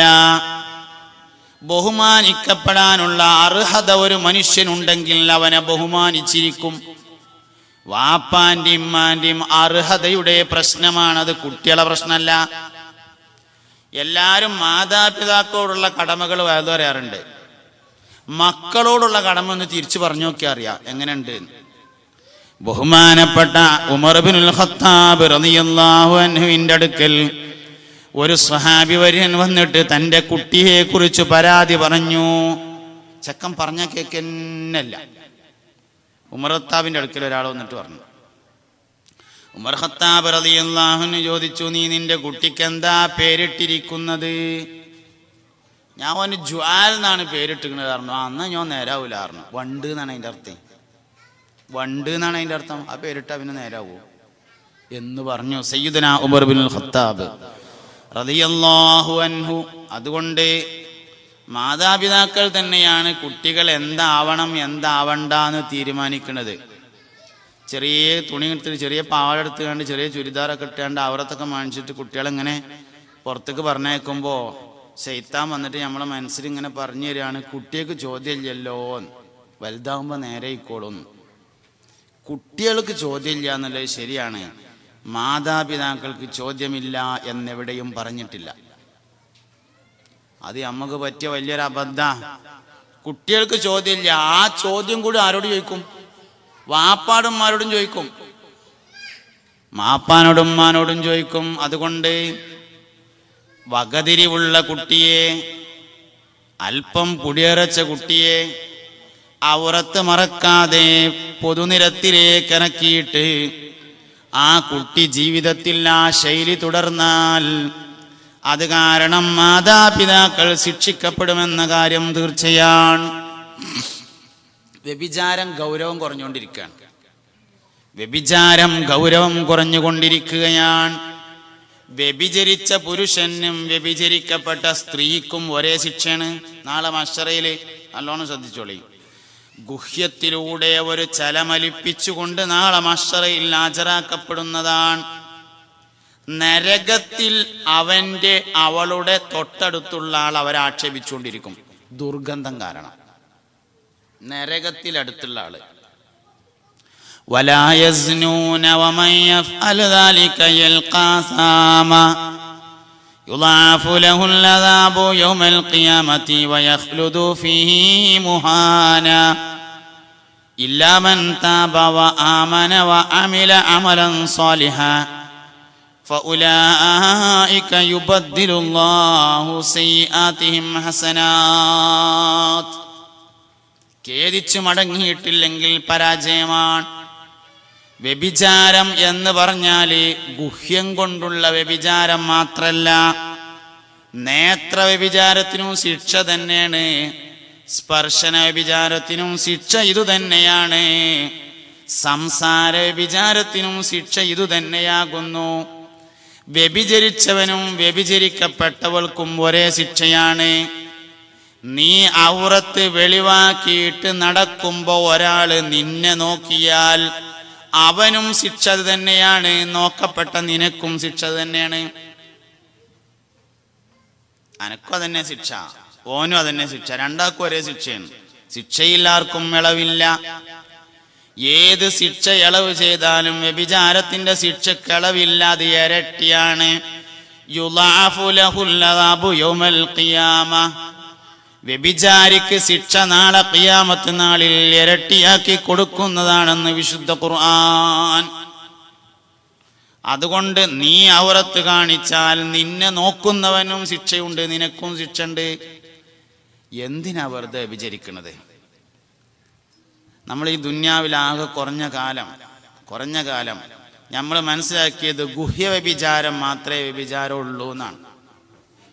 കല്യാണത്തിന്റെ തലേ ദിവസം രാത്രി പന്തലിൽ സ്വന്തം മകളെ അണിയിച്ചൊരുക്കി മുടി കാണിച്ച് നിർത്തി കൊടുക്കുന്ന വരുന്നവർക്കൊക്കെ സംസാരിക്കാന് അമ്മായിയുടെ മകന്റെ പേരക്കുട്ടിക്ക് എളാപ്പാനെ കെട്ടിച്ചോടുന്നു വരുന്ന ആൾക്കാർക്ക് അവർക്കൊക്കെ കാണാൻ വേണ്ടി നേത്ര വ്യഭിചാരം ചെയ്യാൻ വേണ്ടി മുല്ലപ്പൂവും ചൂടിയിട്ട് അണിയിച്ചൊരുക്കി പന്തലിൽ നിർത്തി കൊടുക്കുന്ന വാപ്പയും ഉമ്മയും വ്യഭിചാരത്തിന്റെ ശിക്ഷ അനുഭവിച്ചാൽ മതിയാകില്ല.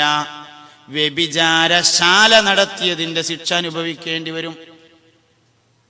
എന്താ പതുകൊണ്ടൊക്കെയുള്ള മേച്ചം?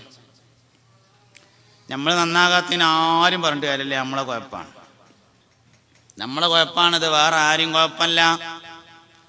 ദീൻ എന്ന് പറഞ്ഞത് പള്ളിയിൽ മാത്രമുള്ളതല്ല. അത് നമ്മുടെ വീട്ടിലും അത് നമ്മുടെ നാട്ടിലും അത് നമ്മുടെ യാത്രയിലും കല്യാണത്തിലും കാനോത്തിലും നമ്മുടെ സൽക്കാരത്തിലും എല്ലാം നിൽക്കേണ്ടതാണ്. പരിശുദ്ധ ഇസ്ലാം അത് പ്രായോഗികമാണ്. എല്ലായിടത്തും പ്രായോഗികമാണ്. എല്ലായിടത്തും ഫിറ്റാണ്. ലജ്ജയെ മതത്തിന്റെ ഭാഗമായി പഠിപ്പിക്കുന്ന ഏക പ്രത്യായ ശാസ്ത്രമാണ് ദീനുൽ ഇസ്ലാം. ലോകത്ത് വേറെ ഒരു മതവും ഹയാ എന്നത് വിശ്വാസത്തിന്റെ ഭാഗമായി ചർച്ച ചെയ്തിട്ടില്ല. ലജ്ജ ഈമാന്റെ ഭാഗമായി ഇസ്ലാം ദീൻ മാത്രമേ ചർച്ച ചെയ്തിട്ടുള്ളൂ. വേറെ എവിടെയും ചർച്ച ചെയ്തിട്ടില്ല. അതുകൊണ്ട് സ്ത്രീകൾക്കിടയിൽ നിന്ന് ഹയാ എന്ന ലജ്ജ എടുത്തു പോകുന്നുണ്ടോ എന്ന് നിരീക്ഷിക്കണം. സോഷ്യലിസ്റ്റുകൾക്ക് അത് അറിയേണ്ട കാര്യമില്ല. കാരണം ഓർക്ക് ലജ്ജ ചർച്ചാ വിഷയമല്ല. ഇത് ഈമാനുള്ളവർക്കല്ലാതെ വേറെ ആർക്കും പറഞ്ഞോട്ട് മനസ്സിലാവില്ല കാരണം അത് ഈമാനിൽ കണക്റ്റഡ് ആണ് ലജ്ജ.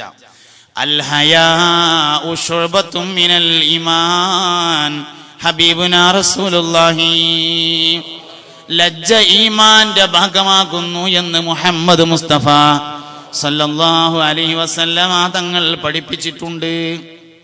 ഞാൻ നിങ്ങളുടെ കൂട്ടത്തിൽ കല്യാണം കഴിഞ്ഞു കൊണ്ടുവന്ന പുതുക്ക പെണ്ണിനേക്കാൾ ലജ്ജയുള്ളവനാണെന്ന് തോഹനബീ വസല്ലം ഭയങ്കര ലജ്ജയായിരുന്നു നബിതങ്ങൾക്ക് കുപ്പായം ധരിക്കാതെ നബിതങ്ങളെ ആരും കാണുമായിരുന്നില്ല.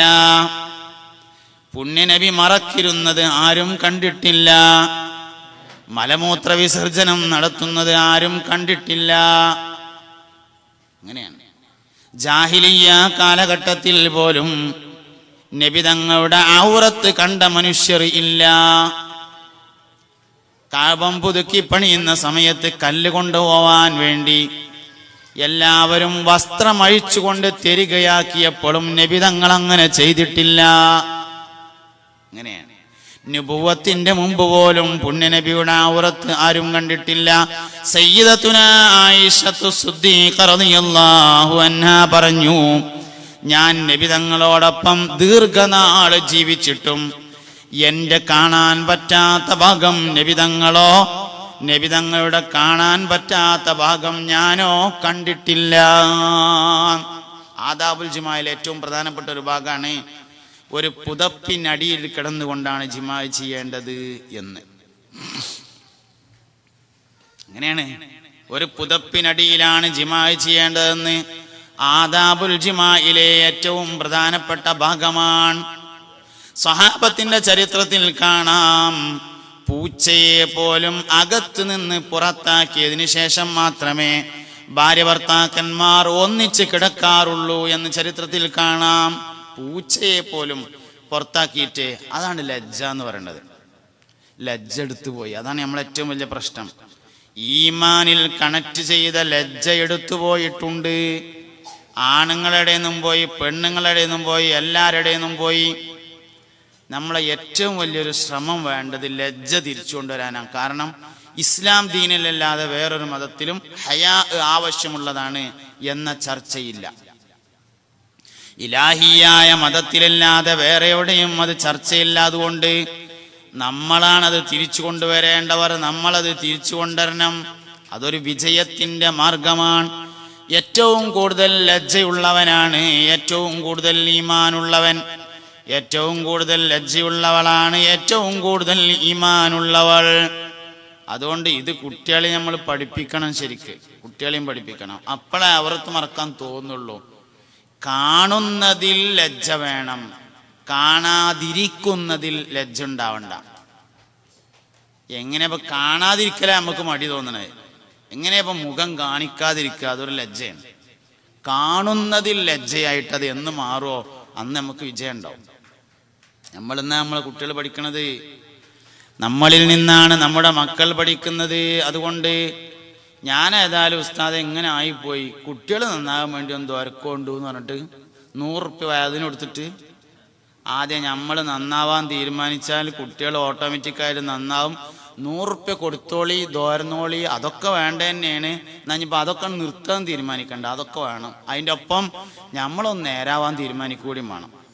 നമ്മളൊരു നേരാവാൻ തിരിക്കണം നമ്മളെ ഇസ്ലാമിക് സെന്ററിന്റെ വളരെ പ്രധാനപ്പെട്ട ഒരാളോട് സംസാരിച്ചപ്പോൾ അദ്ദേഹം പറഞ്ഞു എനിക്ക് പുളിയരച്ചതിന് ശേഷം സുബഹി കഥ ആയത് ഓർമ്മയിലില്ല.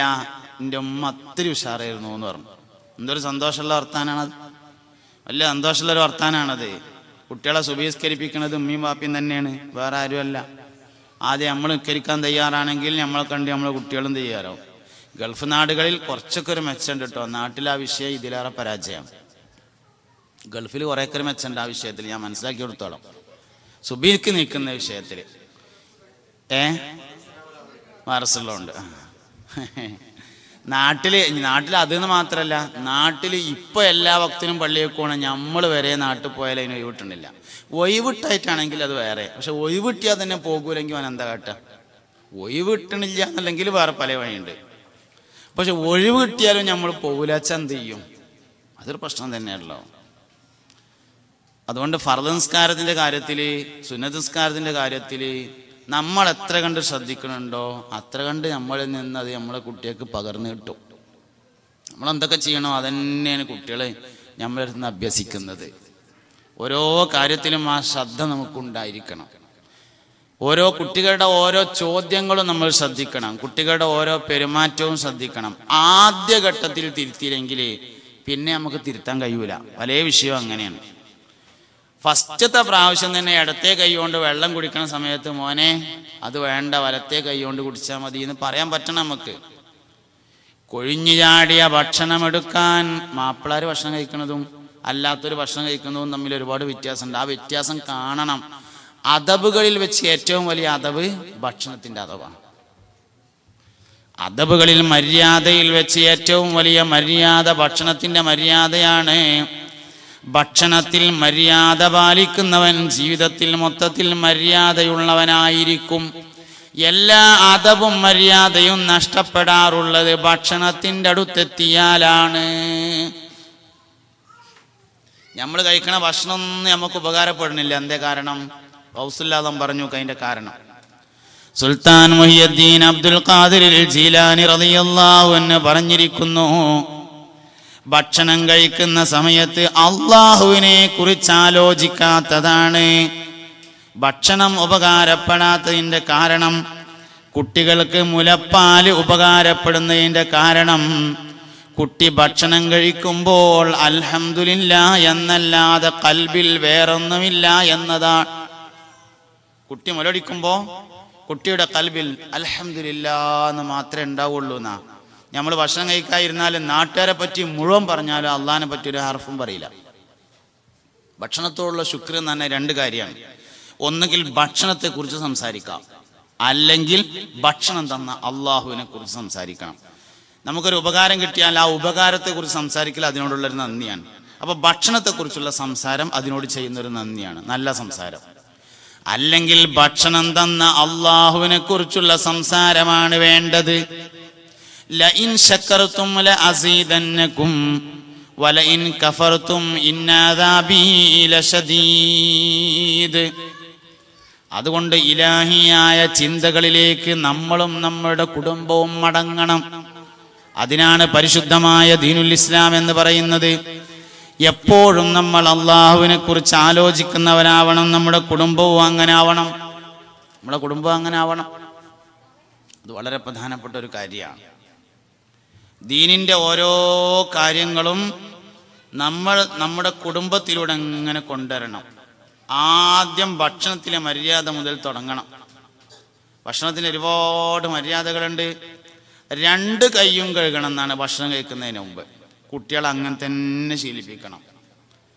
കൊഴിഞ്ഞു ചാടിയ ഭക്ഷണം ജുദാമിനും ജുനൂനിനും ബറസിനും മരുന്നാണെന്ന് മുഹമ്മദ് നബി.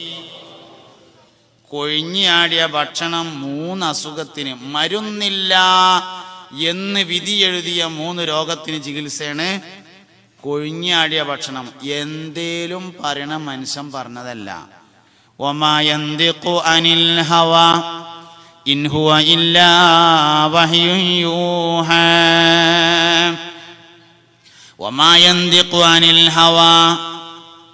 ഹവയെ കൊണ്ട് ഞാൻ സംസാരിക്കുന്നില്ല.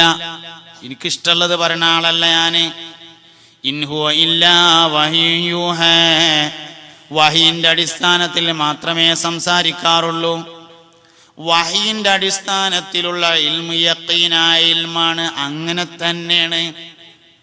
കൊഴിഞ്ഞിയാടിയ ഭക്ഷണം മൂന്ന് രോഗത്തിന് ചികിത്സയാണ്. ജുനൂനിനും ജുദാമിനും ബറസിനും ഭ്രാന്തിനും വെള്ളപ്പാണ്ടിനും കുഷ്ഠരോഗത്തിനും ചികിത്സയാണ്. അങ്ങനത്തെ ഒരു മരുന്ന് നമ്മളെ പെരയിലുണ്ടായിട്ട് എന്താ നമുക്കത് കഴിച്ചാൽ അങ്ങനത്തെ ഒരു മരുന്ന് പിന്നെ മാത്രമല്ല ഒരു സാധനത്തിൽ നിന്ന് നഷ്ടപ്പെടാൻ എപ്പോഴും ശ്രമിക്കുക അതിലുള്ള ബറക്കത്തായിരിക്കും. ബർക്കത്ത് എത്ര കിട്ടിയാലും മതിയാകാത്ത സാധനമാണ്. ആർക്കും മതിയാവില്ല അതുകൊണ്ടാണല്ലോ ഭക്ഷണം കഴിക്കുമ്പോൾ ആദ്യം അവനാന്റെ പ്ലേറ്റിൽ കിടണം എന്ന് പറയണേ. ബർക്കത്ത് വേറെ ആൾക്ക് കൊടുക്കാൻ മാത്രം ഇല്ല. ബർക്കത്തില്ലാത്ത എല്ലാവരും കൊണ്ടായിക്കോട്ടെ ഒരു കുഴപ്പമില്ല. ബർക്കത്ത് നമ്മൾക്ക് എത്ര കിട്ടിയാലും മതിയാവില്ല. അത് ഇനി എത്ര പ്രധാനപ്പെട്ട ആളാണെങ്കിലും മറ്റൊരാൾ കൊടുക്കാൻ മാത്രം ഇല്ല സാധനേ. അതുകൊണ്ട് ആദ്യത്തേതും അവസാനത്തവും നമ്മൾ തന്നെ എടുക്കണം. കിട്ടുമെങ്കിൽ ഇട്ടോ തട്ടിപ്പറിക്കണം എന്നല്ല ഈ പറഞ്ഞതിന്റെ അർത്ഥം. കിട്ടുമെങ്കിൽ നമ്മൾ തന്നെ എടുക്കണം. അവസാനത്തെ പറ്റി നമ്മൾ തന്നെ എടുക്കണം. ആദ്യത്തതും നമ്മൾ തന്നെ എടുക്കണം. കാരണം അത് രണ്ടും ആദ്യത്തിനും അവസാനത്തിലുമാണ് വർക്കത്ത് എന്ന് മുഹമ്മദ് നബി സല്ലാഹു അലൈഹി സ്വല്ലാ തങ്ങൾ പഠിപ്പിച്ചിട്ടുണ്ട്. ജീവിതത്തിന്റെ ബർക്കത്ത് നഷ്ടപ്പെട്ട പിന്നെ എന്തിനാ പറ്റുക? ബർക്കത്ത് എന്ന് പറഞ്ഞാൽ ഭക്ഷണത്തിൽ മാത്രമൊന്നല്ല എല്ലാറ്റിലും ഉണ്ട്. എല്ലാവരും ഉണ്ട്. മക്കളിൽ ബർക്കത്തുണ്ടല്ലോ. പത്ത് മക്കളുണ്ട്. ആവശ്യ നേരത്തെ ഒറ്റൊന്നും ഉണ്ടായില്ല. ഒരു കുട്ടിയേ ഉള്ളൂ. എല്ലാറ്റിനും ഓൻ തന്നെ ഉണ്ട്. ബർക്കത്തിലുള്ള വ്യത്യാസമാണത്. ബർക്കത്തുണ്ടെങ്കിൽ ഒരു ലക്ഷം റുപ്യ ഉണ്ട് പത്ത് ലക്ഷം റുപ്യ കടമുണ്ട് മുന്നൂറ് റുപ്യ ആകുള്ളൂ നൂറ് റുപ്യന്റെ ആവശ്യമുള്ളൂ ഇരുന്നൂറ് റുപ്യ ബാക്കിയുണ്ട്. ബർക്കത്തുകൾ തമ്മിലുള്ള വ്യത്യാസമാണത്. ബർക്കത്തുള്ള സാധനം കുറച്ച് മതിയാവും. ബർക്കത്തില്ലാത്ത എത്ര ഉണ്ടായിട്ട് ഒരു കാര്യമില്ല അള്ളാഹു നമ്മുടെ ജീവിതത്തിൽ ബറക്കത്ത് നൽകട്ടെ. ആയുസ്സിൽ ബർക്കത്തുണ്ടല്ലോ. ആയുസ്സിലൊരു ബർക്കത്തുണ്ട് സമയത്തിൽ ബറക്കത്തുണ്ട് സമയത്തിലൊരു ബർക്കത്തുണ്ട് ഒരു ദിവസം രാവിലെ വർക്കത്തില്ലാത്ത ദിവസമാണെങ്കിൽ അന്നത്തെ ദിവസം ഒന്നിനും പറ്റൂല. ബറക്കത്തുള്ള ദിവസമാണെങ്കിലോ ഇന്ന് എന്തൊക്കെ നടന്നത് എന്ന് വൈകുന്നേരം കണക്കൂട്ടിയാ കിട്ടും. ഇന്നിപ്പോ എന്തൊക്കെ ഉണ്ടായി? ആ കിട്ടും. ബർക്കത്തിൽ ഇന്നത്തെ ദിവസം ഒന്നും നടന്നില്ല. ബർക്കത്തില്ല ആ ദിവസം. സുബഹി നിസ്കാരം നഷ്ടപ്പെടുന്നവന് ബറക്കത്തില്ല. അത് നമ്മളെ കുട്ടിയേക്ക് നഷ്ടപ്പെട്ടാൽ കുട്ടിയൊക്കെ വർക്കത്തുണ്ടാവില്ല വീട്ടിൽ നഷ്ടപ്പെട്ടാൽ വീട്ടിൽ വർക്കത്തുണ്ടാവില്ല അതുകൊണ്ട് മക്കളെ ആദ്യമായി പഠിപ്പിക്കേണ്ടത് അദബാണ്. ഉമർബിനുൽ ഖത്താബ് റളിയല്ലാഹു അൻഹു തന്റെ മകനായ അബ്ദുല്ലാഹിബിൻ ഉമർ റളിയല്ലാഹു അൻഹുവിന്റെ കയ്യും പിടിച്ച് മദീനത്തെ പള്ളിയിൽ ഒരിക്കൽ വന്നു. നബി തങ്ങളുടെ സദസ്സിലിരുത്തി അള്ളാന്റെ റസൂൽ സഹാബത്തിനോട് സ്നേഹ സംസാരങ്ങൾ നടത്തുന്നതിനിടയിൽ ഒരു കടങ്കഥ ചോദിച്ചു. സഹാബ കമ്പില്ലാത്ത ഒരു മരത്തിന്റെ പേര് പറയാമോ സഹാബ? കമ്പില്ലാത്ത ഒരു മരത്തിന്റെ പേര് പറയാൻ പറ്റുമോ?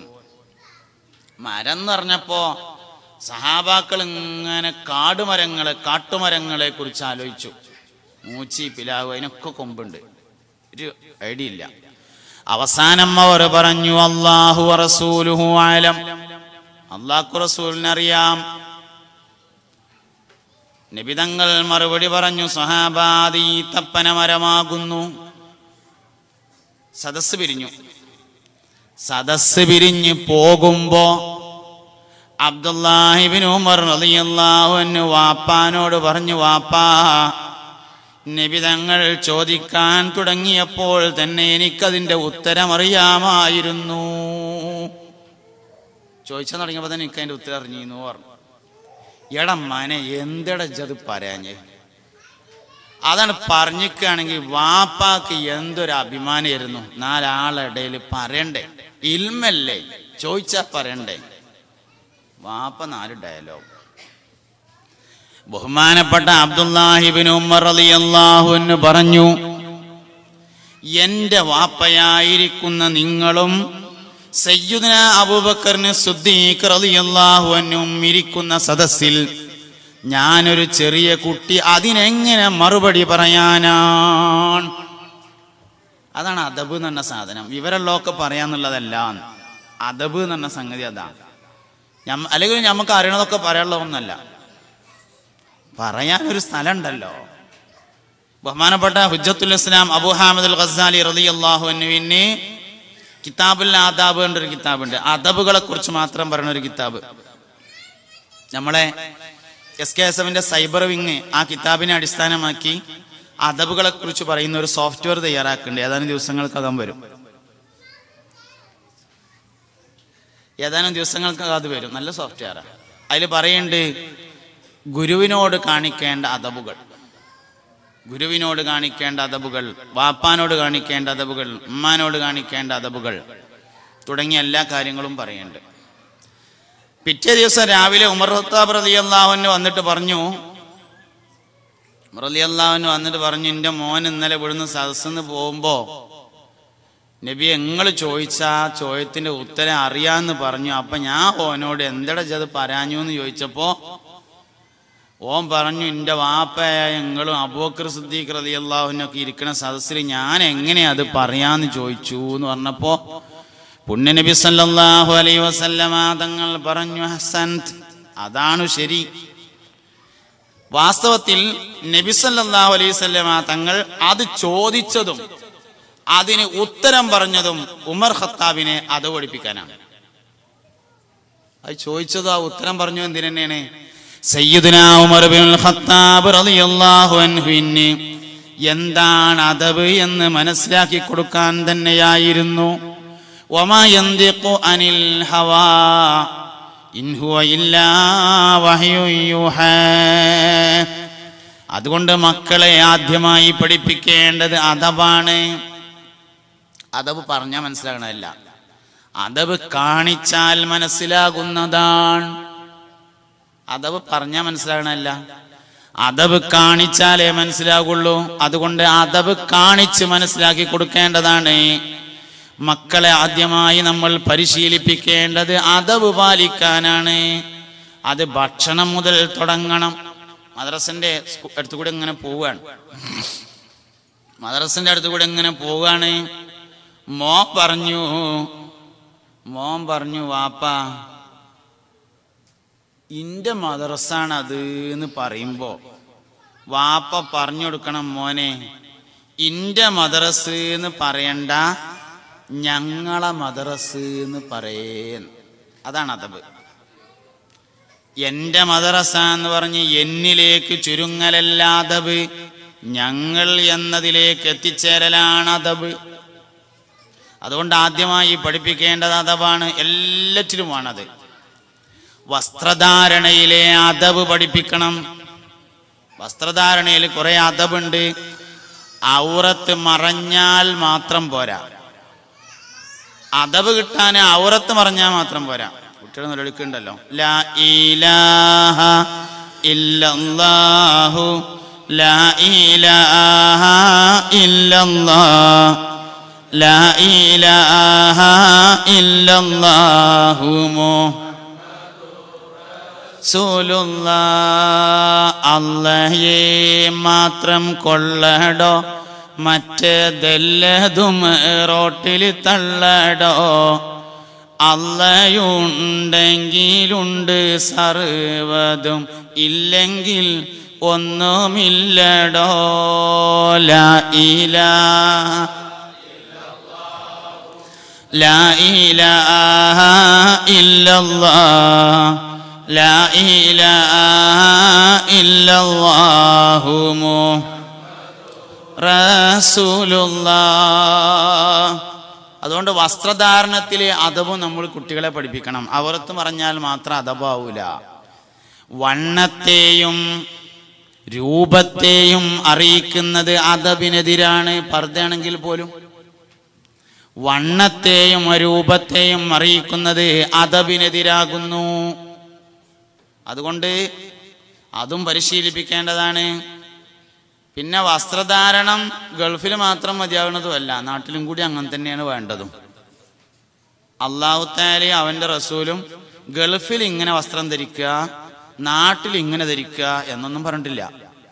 ഔത്തും പുറത്തും വ്യത്യാസമുണ്ട്. പെരന്റെ ഉള്ളിലും പെരന്റെ പുറത്തും വ്യത്യാസമുണ്ട്. അതങ്ങനെ ചെയ്യാം. അല്ലാതെ മരിച്ചോടത്ത് പോകുമ്പോഴും കല്യാണത്തിന് പോകുമ്പോഴും ഒരേ ഒരേമാതിരി തന്നെയാണ് വ്യത്യാസമൊന്നുമില്ല.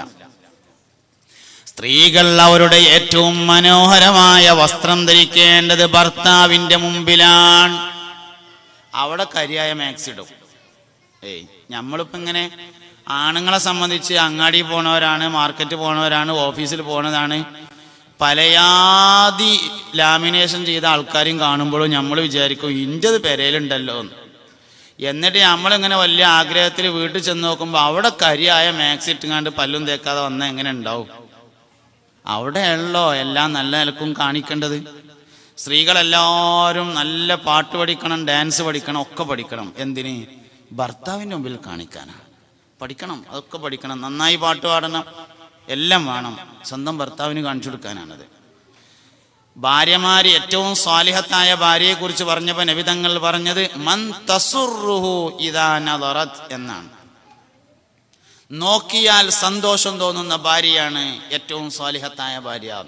ഓളാണ് കണ്ടാൽ തന്നെ പൊലിവ് കൊണ്ട് വരണം. അതുകൊണ്ടാണ് അള്ളാന്റെ റസൂൽ മുഹമ്മദ് മുസ്തഫ സല്ലല്ലാഹു അലൈഹി വസല്ലമ തങ്ങൾ ഹിറ പർവതത്തിന്റെ ഗുഹയിൽ നിന്ന് ഭയപ്പെട്ട സമയത്ത് ബഹുമാനപ്പെട്ട സയ്യിദത്തുന ബീവി ഖദീജ. ഖദീജ ബീവി റളിയല്ലാഹു അൻഹയുടെ അടുത്തേക്ക് വേഗത്തിൽ പോയത്. ടെൻഷൻ ഉണ്ടാവുമ്പോൾ പെരേക്കാണ് പോകാൻ പറ്റണം. അല്ലാതെ ടെൻഷനാണ് ഞാൻ അടുത്ത മാസേ പോണുള്ളൂ എന്ന് പറയാനല്ല. ഓളാണ് കണ്ടാൽ സന്തോഷം വരണം. അതാണ് ഒരു ഭാര്യയുടെ പ്രത്യേകത എന്ന് ഞാൻ പറഞ്ഞതല്ല മുഹമ്മദ് നബി സല്ലല്ലാഹു അലൈഹി വസല്ലം. സൗന്ദര്യം നാട്ടുകാർക്കിടയിൽ പ്രകടിപ്പിക്കാനുള്ളതല്ല ഭർത്താവിന്റെ മുമ്പിൽ പ്രകടിപ്പിക്കാനുള്ളതാണ്. മാക്സിമം മണിഞ്ഞൊരുങ്ങേണ്ടത് ഭർത്താവിന്റെ മുമ്പിലാണ്. അതുകൊണ്ട് ഇസ്ലാമികമായ വസ്ത്രധാരണം എന്ന് പറഞ്ഞത് ഗൾഫിക്ക് മാത്രമുള്ളതല്ല നാട്ടും കൂടി ഉള്ളതാണ്. മക്കളിലും ശീലിപ്പിക്കണം. നമ്മൾ കണ്ടിട്ടാണ് മക്കൾ പഠിക്കുക. വ്യഭിചാരത്തിന്റെ ശിക്ഷയെ നല്ലോണം ആലോചിക്കണം. അതവ് പഠിപ്പിക്കണം. അതവ് പഠിയണമെങ്കിലോ അതവ് പഠിയണമെങ്കിൽ എന്തു വേണം? അതബ് പഠിയണമെങ്കിൽ ഹലാലും തൊയ്യവുമായ ഭക്ഷണം കൊടുക്കണം. എന്നാലേ പറ്റുള്ളൂ.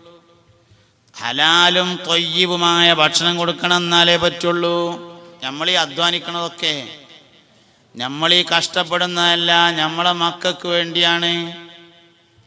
സൂപ്പർ മാർക്കറ്റിക്ക് ഇന്റർവ്യൂ നടക്കുകയാണെങ്കിൽ രണ്ട് ജോലിക്കാർ രണ്ട് പെണ്ണുങ്ങൾ ആവശ്യമുണ്ട്. പത്ത് പെണ്ണുങ്ങൾ വന്നാലേ വന്നാൽ തൊലിവെളുപ്പുള്ള പെണ്ണിനെയാണ് സെലക്ട് ചെയ്യുക അങ്ങനെയാണ് സെലക്ട് ചെയ്യുക മറ്റുള്ളവരുടെ നേത്ര വ്യഭിചാരത്തെ വിറ്റ് കാശാക്കിയിട്ട് അത് മക്കൾക്ക് തിന്നാൻ കൊടുത്തിട്ട് മരിച്ചുപോയതിന്റെ ശേഷം കബറുങ്ങ വന്ന് മക്കൾ ദ്വാരക്കണ സ്വാലിഹായ സന്താനമാവണമെന്ന് ആഗ്രഹിച്ചിട്ട് കാര്യമില്ല. ചിരട്ടെടുത്തിട്ട് അങ്ങാടി കൂടെ തെണ്ടിയിട്ടാണ് ഹലാലും തൊയ്യവുമായ മുതൽ കിട്ടണമെങ്കിൽ ആ പൈസ കൊടുത്തിട്ട് മക്കളെ വളർത്തിയാൽ കബറിങ് വന്നത് വരക്കും സമ്പത്ത് ഹലാലും തൊയ്യവുമായില്ലെങ്കിൽ മൂന്ന് വിപത്തുകൾ മാതാപിതാക്കൾക്ക് വരുന്നതാണ്. മക്കൾക്ക് കൊടുക്കണ ഭക്ഷണം ഹലാലും തൊയ്യുമായില്ലെങ്കിൽ മൂന്ന് വിപത്ത് മക്കളിൽ നിന്ന് മാതാപിതാക്കൾ അനുഭവിക്കണം. ഒന്നാമത്തെ വിപത്ത് മക്കൾക്ക് അംഗവൈകല്യമുണ്ടാകുന്നതാണ്. മക്കൾക്ക് അംഗവൈകല്യം ഉണ്ടാകും ഹോട്ടൽ നടത്തുകയാണ്. ഹോട്ടൽ നടത്തുകയാണ്. എത്രയോ സ്വാലിഹായ മനുഷ്യന്മാരാണ് ഹോട്ടലിലേക്ക് ഭക്ഷണം കഴിക്കാൻ വരുന്നത്. ബേക്കറി നടത്തുകയാണ് കൂൾബാർ നടത്തുകയാണ് ചായക്കടയാണ് ചായമക്കാനിയാണ് പെട്ടിപ്പീടിയാണ്. എത്രയെത്ര സ്വാലിഹീങ്ങളാണ് വന്ന് ഭക്ഷണം കഴിച്ചു പോകുന്നത്. അവരുടെ വയറിലേക്ക് മ്ലേച്ഛമായ വസ്തുവിനെ കടത്തിവിട്ടാൽ അവന്റെ കുടുംബത്തിലേക്ക് അള്ളാഹു മ്ലേച്ഛമായത് കൊണ്ടുവരുമെന്ന കാര്യം തീർച്ചയാണ്. അതുകൊണ്ട് സമ്പത്ത് ഹലാലും തൊയ്യുമായില്ലെങ്കിൽ മക്കളിൽ അനുഭവിക്കേണ്ടി വരും തീർച്ച. കാര്യം ഉറപ്പാണ്. ആ കാര്യം ഉറപ്പാണ്. ഒന്ന് അംഗവൈകല്യം മക്കളിൽ പിടികൂടും. രണ്ട് ബുദ്ധിവൈകല്യം മക്കൾക്കുണ്ടാവാൻ സാധ്യതയുണ്ട്. സമ്പത്ത് ഹലാലും തൊയ്യുമായില്ലെങ്കിൽ മക്കൾക്ക് ബുദ്ധിവൈകല്യം ഉണ്ടാവാൻ സാധ്യതയുണ്ട്. അന്റെ മുതൽ മാത്രം നോക്കിയാ പോരാ. അനന്തരമായി കിട്ടിയ വാപ്പാന്റെ മുതലിൽ ഹറാമ് കലർന്നിട്ടുണ്ടെങ്കിലും മക്കൾ ബുദ്ധിയില്ലാത്തവരാവാൻ സാധ്യതയുണ്ടേ. ഞാനല്ലല്ലോ വാപ്പാന്റെ വാപ്പല്ലേ. എന്നാലോചിച്ചിട്ട് കാര്യമില്ല. മൂസ നബി അലൈഹിസ്സലാമും ഹിദർ നബി അലൈഹിസ്സലാമും കൂടി യാത്ര ചെയ്തപ്പോ ഒരു മനുഷ്യന്മാരുടെ മതിൽ നന്നാക്കി കൊടുത്തു. മൂസ നബി അലൈഹിസ്സലാമിന് ദേഷ്യം വന്നിട്ട് ഖിദർ അലൈഹിസ്സലാമിനോട് മതിൽ നന്നാക്കിയതിനെ പറ്റി ചോദിച്ചു. ഭക്ഷണം ചോദിച്ചപ്പോ ആ നാട്ടുകാർ കൊടുത്തിരുന്നില്ല. ഭക്ഷണം ചോദിച്ചപ്പോ കൊടുത്തില്ല. അതുകൊണ്ട് മൂസാ നബിക്ക് ഓല മതിൽ നേരാക്കി കൊടുത്തപ്പോ ദേഷ്യം വന്നു. മൂസാ നബി പറഞ്ഞു ഇങ്ങനെയാണെങ്കിൽ നമ്മക്കത് കരാർ കരാറെടുത്ത് കണ്ട് ചെയ്തു തരാന്നില്ല. എന്നാ ഒജിനം കഴിക്കാനുള്ള ഭക്ഷണം കിട്ടിയ പൈസ കിട്ടിയെന്നില്ലേന്ന് ചോദിച്ചു. കരാറിന് കണ്ട് നമുക്ക് ചെയ്യാൻ മതിയായിരുന്നല്ലോ. ബഹുമാനപ്പെട്ട ഹിദർ നബി അലൈഹി ഇസ്ലാം പറഞ്ഞു ഞാൻ അതുകൊണ്ട് ചെയ്തതല്ല.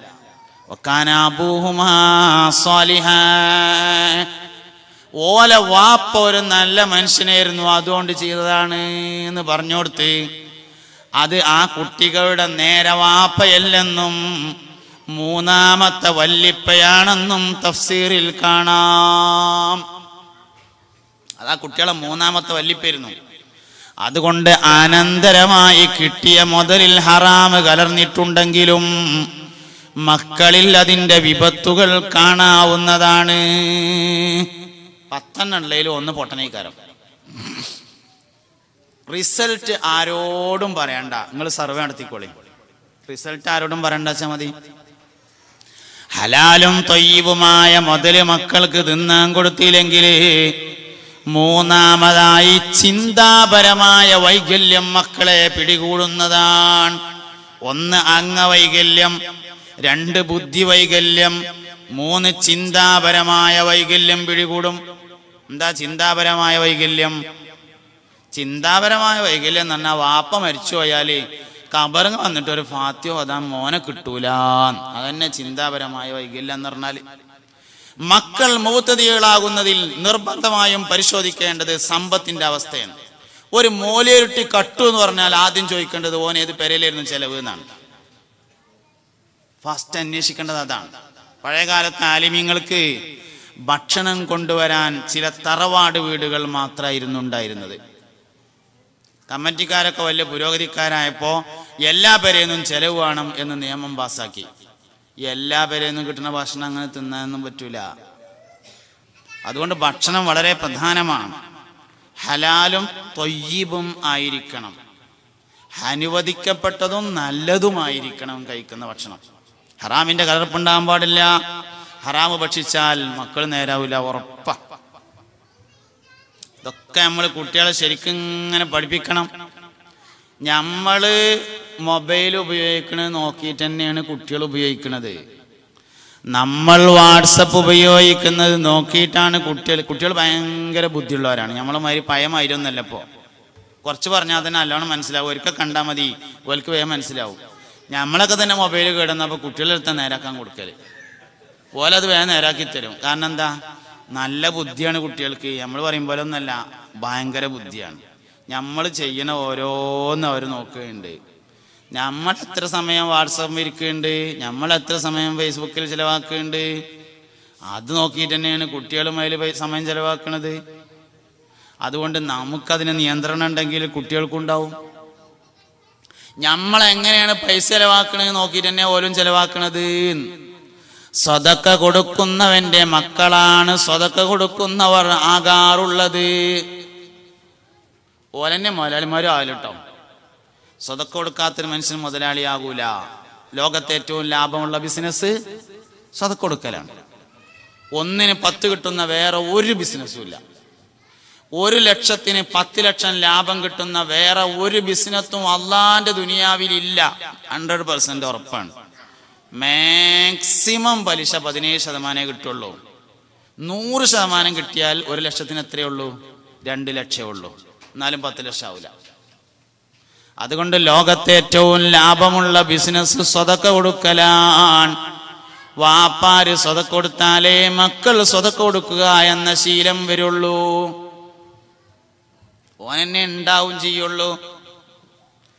പിന്നെ ഉള്ളത് കൊണ്ട് തൃപ്തിപ്പെട്ട് മിതവ്യയം ചെയ്ത് ജീവിക്കണം എന്ന് പറഞ്ഞോടത്ത് രണ്ട് കാര്യം ഒഴിവാണ്. ചില ധാരണ പശകൾ നമുക്കുണ്ട് രണ്ട് കാര്യം ഒഴിവുണ്ട്. ഒന്ന് മറ്റുള്ളവർക്ക് ഭക്ഷണം ഉണ്ടാക്കി കൊടുക്കുക. നമ്മളെ കൊണ്ട് മാക്സിമം എത്ര നല്ല ഭക്ഷണം ഉണ്ടാക്കി കൊടുക്കാൻ പറ്റുമോ അതന്നെ കൊടുക്കേണ്ടത്. അവിടെ അരക്കത്രം കാണിച്ചിങ്ങാണ്ട് അമിതമായി ചെലവാക്കാൻ പറ്റൂല എന്ന് പറയാൻ പറ്റൂല. നമ്മളെ കൊണ്ട് എത്ര നന്നായിട്ട് ഒരാളെ സൽക്കരിക്കാൻ പറ്റുമോ അത്രയും നന്നായിട്ട് സൽക്കരിക്കണം. തിന്നണോ ശ്രദ്ധിക്കണം. കൊടുക്കണോന്ന് അതിന് ശ്രദ്ധ ആവശ്യമില്ല. അങ്ങനെ. രണ്ടാമത് സ്വതക്ക കൊടുക്കണോടത്ത് മിതവ്യയം ആവശ്യമില്ല. സ്വതക്ക കൊടുക്കണോടത്ത് അമിതവ്യയം എന്ന് പറയുന്ന ഒരു സംഗതി ഇല്ല. എത്ര കൊടുത്താലും ഓർവില്ല എത്ര കൊടുത്താലും ഓർവില്ല തബൂക്ക് യുദ്ധം കഴിഞ്ഞതിന് ശേഷം മൂത്തത് യുദ്ധത്തിന് വേണ്ടി നബ്സല്ലാ അലൈഹി സ്വലം തങ്ങൾ പിരിവെടുത്താണ്. വയലറിഞ്ഞിട്ട് പിരിക്കുകയാണ് നല്ല പ്രയാസമുള്ള സമയത്താണ് മൂത്തത് യുദ്ധം നടക്കുന്നത്. സഹാബത്തിനോട് പറഞ്ഞു സഹാബ അനിവാര്യമായ ഒരു സാഹചര്യത്തിൽ നമ്മൾ യുദ്ധത്തിന് പോവുകയാണ്. അനിവാര്യമായ സാഹചര്യത്തിൽ യുദ്ധത്തിന് പോവുകയാണ്. അതുകൊണ്ട് നിങ്ങളെല്ലാവരും വീട്ടിൽ പോയിട്ട് തരാൻ പറ്റിയ അത്രയും കൊണ്ടുവരണം. പ്രമുഖരായ സഹാബികളെല്ലാം വീട്ടിലേക്ക് പോയി എല്ലാവരും മടങ്ങി വന്നു. ആദ്യം വന്ന സഹാബിയോട് നബിതങ്ങൾ ചോദിച്ചു നിങ്ങൾ എന്താ കൊണ്ടുവന്നിരിക്കുന്നത്? ആ ഞാൻ അത്രയും കൊടുത്തിട്ടുണ്ട്. നാലായിരം ദിർഹം കൊണ്ടുവന്നിട്ടുണ്ട്. നബിതങ്ങൾ ചോദിച്ചു ഇനി വീട്ടിൽ എന്താണുള്ളത് അള്ളാന്റെ റസൂലേ വീട്ടിൽ ഇത്രയും കൂടി ഉണ്ട് നബിയേ. ഭാര്യക്കും മക്കൾക്കും അത്രയും കൂടി ഉണ്ട് പറഞ്ഞു. പഠിച്ചോനെ ഇവന് കൊടുന്നേലും വീട്ടിൽ വെച്ചതിലും ബർക്കത്ത് കൊടുക്കണേന്ന് തോരുന്നു. പിന്നെ വന്നു സുദ്ദീഖുൽ അക്ബർ അലി അള്ളാഹു ചില്ലറ പൈസ ഉണ്ട് കയ്യിൽ അത് കൊടുത്തു. നബിതങ്ങൾ അത് നോക്കിയിട്ട് ചോദിച്ചു അല്ലയോ അബൂബക്കറിന് സിദ്ദീഖ് വീട്ടിൽ ഭാര്യക്കും മക്കൾക്കും ഇനി എന്താണുള്ളത് സുദ്ദീഖ്? സയ്യിദ്നാ സുദ്ദീഖുൽ അക്ബർ റളിയല്ലാഹു അൻഹു പറഞ്ഞു നബിയേ വീട്ടിൽ ഭാര്യക്കും മക്കൾക്കും ഇതിനേക്കാൾ ഹൈറായതുണ്ട് നബിയേ. ഇതിനേക്കാൾ ഹയറായതുണ്ട് എന്ന് പറഞ്ഞു. അപ്പൊ ചോദിച്ചു അല്ല സിദ്ദീഖെ ഇതിനേക്കാൾ ഹയറായത് എന്താന്ന് ചോദിച്ചു. അപ്പൊ പറഞ്ഞു അള്ളാന്റെ റസൂലേ ആ ബോക്കർ സിദ്ദീഖിന്റെ വീട്ടിൽ അള്ളാഹുവും അവന്റെ റസൂലുമല്ലാതെ മറ്റൊന്നുമില്ല നബിയേ. ഇത് കേട്ടു നിന്നിരുന്ന സഹാബത്ത് പറഞ്ഞു ദുനിയാവിൽ ആരെ തോൽപ്പിക്കാൻ കഴിഞ്ഞാലും സുദ്ദീഖിനെ തോൽപ്പിക്കാൻ കഴിയില്ല. എത്ര കൊടുന്നാലും കൊടുന്നത് പെരയിലുള്ളതിന്റെ പകുതിയാണ്. എന്നാൽ സുദ്ധി കൊണ്ടുവന്നത് വീട്ടിലുള്ളത് മുഴുവനുമാണ്. അതാണ് സംഗതി. അതാ സംഗതി. ഇവിടെ പിരിവൊന്നും ഇല്ലാത്തതുകൊണ്ട് ധൈര്യമായിട്ട് പറയാൻ പറ്റിയ വിഷയമാണ് സ്വതക്കനെ കുറിച്ചിട്ട്.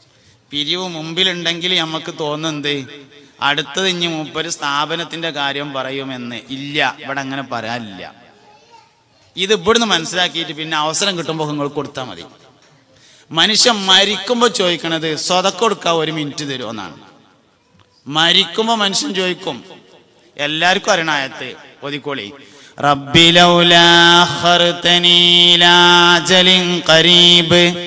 ലൗലാ അഖർതനീ ഇലാ അജലിൻ ഖരീബ് فأصدق وأكن من الصالحين ولن يؤخر الله نفسا إذا جاء أجلها والله خبير بما تعملون മരിക്കുമ്പോ മനുഷ്യൻ ചോദിക്കുന്നത് വസിയത്ത് ചെയ്യാൻ എന്നല്ല കുട്ടികളോട് ചില കാര്യം പറയാണ്ടായിരുന്നു എന്നല്ല ഒരു രണ്ടരക്കത്ത് നിസ്കരിക്കട്ടെ എന്നല്ല ഒരു സെക്കൻഡ് തരുമോ സ്വത കൊടുക്കാന് ചോദിക്ക മനുഷ്യൻ മരിക്കുമ്പോ.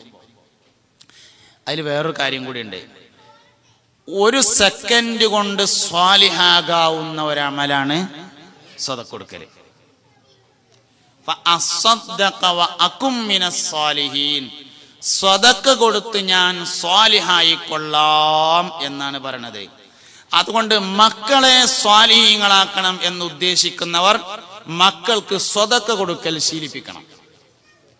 ഒരു സെക്കൻഡ് കൊണ്ട് സ്വാലിഹാകാവുന്ന വേറൊരു അമലുമില്ല സ്വതക്ക കൊടുക്കലല്ലാതെ.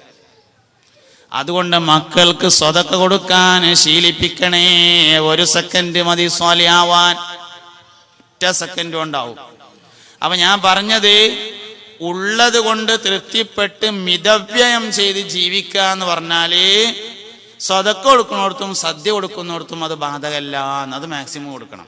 ബാക്കിയുള്ള എല്ലാ കാര്യത്തിലും അമിതമായി ചെലവാക്കാതെ ആവശ്യത്തിന് മാത്രം ചെലവഴിക്കണം. പ്രത്യേകിച്ച് സ്ത്രീകൾ. നമുക്ക് ആവശ്യമുള്ള സംഗതി ഓക്കെ. നമുക്ക് ആവശ്യമുള്ളത് ഓക്കെ.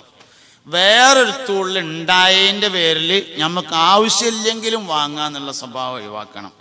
നമ്മളെ കൗമ മാത്രമാണ് ആ പരിപാടി ചെയ്യണത്. ബാക്കി ആരാണെങ്കിലും ആവശ്യത്തിനേ വാങ്ങുള്ളൂ.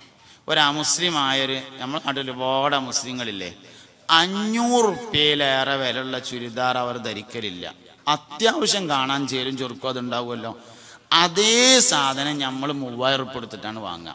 സാധനം തന്നെ കാരണം നമ്മളെ കണ്ടാൽ അറിയാം ഞമ്മക്ക് അഞ്ഞൂറിന്റെത് വേണ്ട മൂവായിരത്തിന്റെ മതിന്ന് ഒരേ സാധനത്തിന് രണ്ട് റേറ്റ് ഇട്ടിട്ടുണ്ടാവും.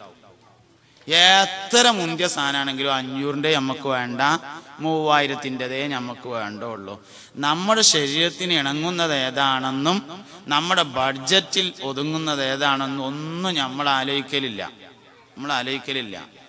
കടം വാങ്ങിയിട്ടാണെങ്കിലും വേണ്ടില്ല അടിച്ചു പൊളിച്ച് ജീവിക്കുക എന്നുള്ളിടത്താണ് നമ്മളുള്ളത്. ആവശ്യത്തിന് ചെയ്യുന്നതിനെ കുറിച്ചല്ല ഞാൻ പറഞ്ഞത്.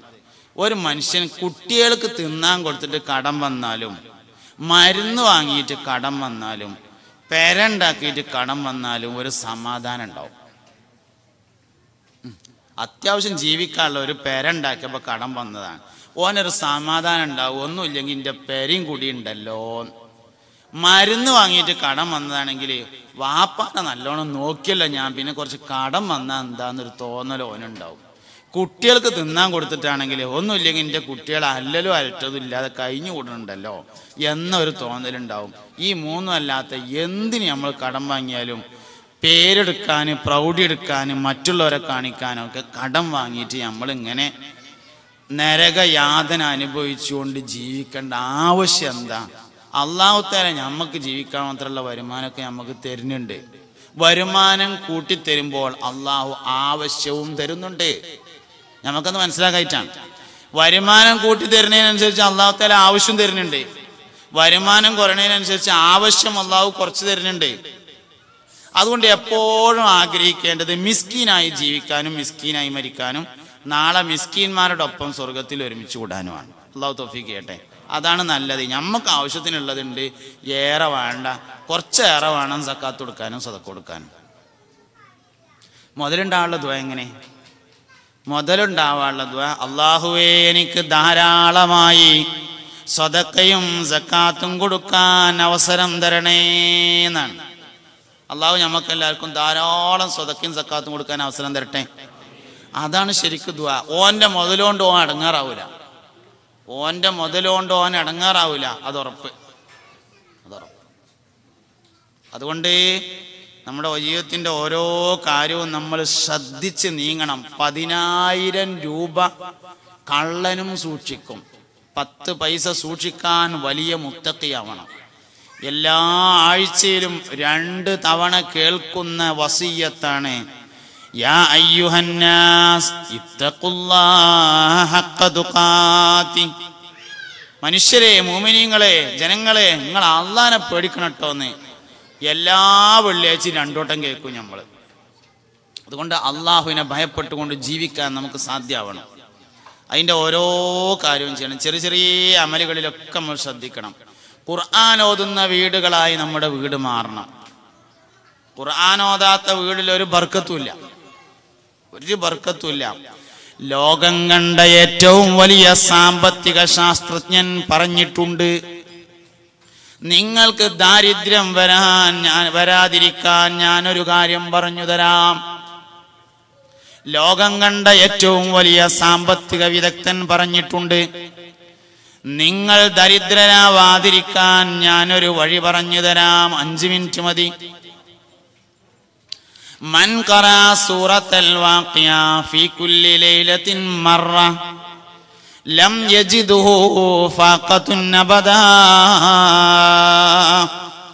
ഒരാൾ ഒരു ദിവസം രാത്രി ലൈലത്ത് സൂറത്തുൽ വാക്കിയ ഒരു പ്രാവശ്യം ഓതിയാലേ അവൻ ഒരിക്കലും ദാരിദ്ര്യം വരൂലാന്ന് മുഹമ്മദ് നബി. ഏത് നബി? കുറഞ്ഞ ഭക്ഷണം കൊണ്ട് എല്ലാവർക്കും കൊടുത്തിട്ടും ഭക്ഷണം ബാക്കിയാക്കിയ നബി. ومن اليسير سقى وأطعم جيشه حتى اكتفى ويسيره لم ينفدي يا ربي صل على النبي محمد منجي الخلائق من جهنم في غدي കുറഞ്ഞ ഭക്ഷണം ആകെ ഉണ്ടായിരുന്നുള്ളൂ അതുകൊണ്ട് എല്ലാവർക്കും കൊടുത്തു. ഒമിനൽ യസീരി കുറഞ്ഞ വെള്ളം ഉണ്ടായതുള്ളൂ. അതുകൊണ്ട് എല്ലാവർക്കും കൊടുത്തു. ഒമിനൽ യസീരി സക്ക കുറഞ്ഞ ഭക്ഷവെള്ളം കൊണ്ട് എല്ലാവർക്കും കുടിപ്പിച്ചു. വാത്വാമ ഭക്ഷണവും കൊടുത്തു ജയ്ഷഹു തന്റെ സൈന്യത്തിന്. തന്നെ ഉള്ളത് തിന്നോളിന്നല്ല. മതിയാകുന്നത് വരെ കൊടുത്തു. അവർക്ക് മതിയാകുന്നത് വരെ വയസീറോ എന്നിട്ടും കുറച്ച് ലംയം ഫതി തീരാതെ ബാക്കി ഉണ്ടായിരുന്നു അങ്ങനത്തെ മനുഷ്യൻ പറയാണ് നിങ്ങൾക്ക് ദാരിദ്ര്യം വരാതിരിക്കാൻ ഒരു മൂന്ന് മിനിറ്റ് മാറ്റിയൊക്കെ. എല്ലാ ദിവസവും എന്തേ പിന്നെ പ്രശ്നം പറ്റിയത്? പ്രശ്നം അതൊന്നും പോതിയിട്ട് നമ്മളത് തീരുന്നുള്ളത് നമുക്ക് ഈമാനായില്ല എന്നുള്ളതാണ് പ്രശ്നം.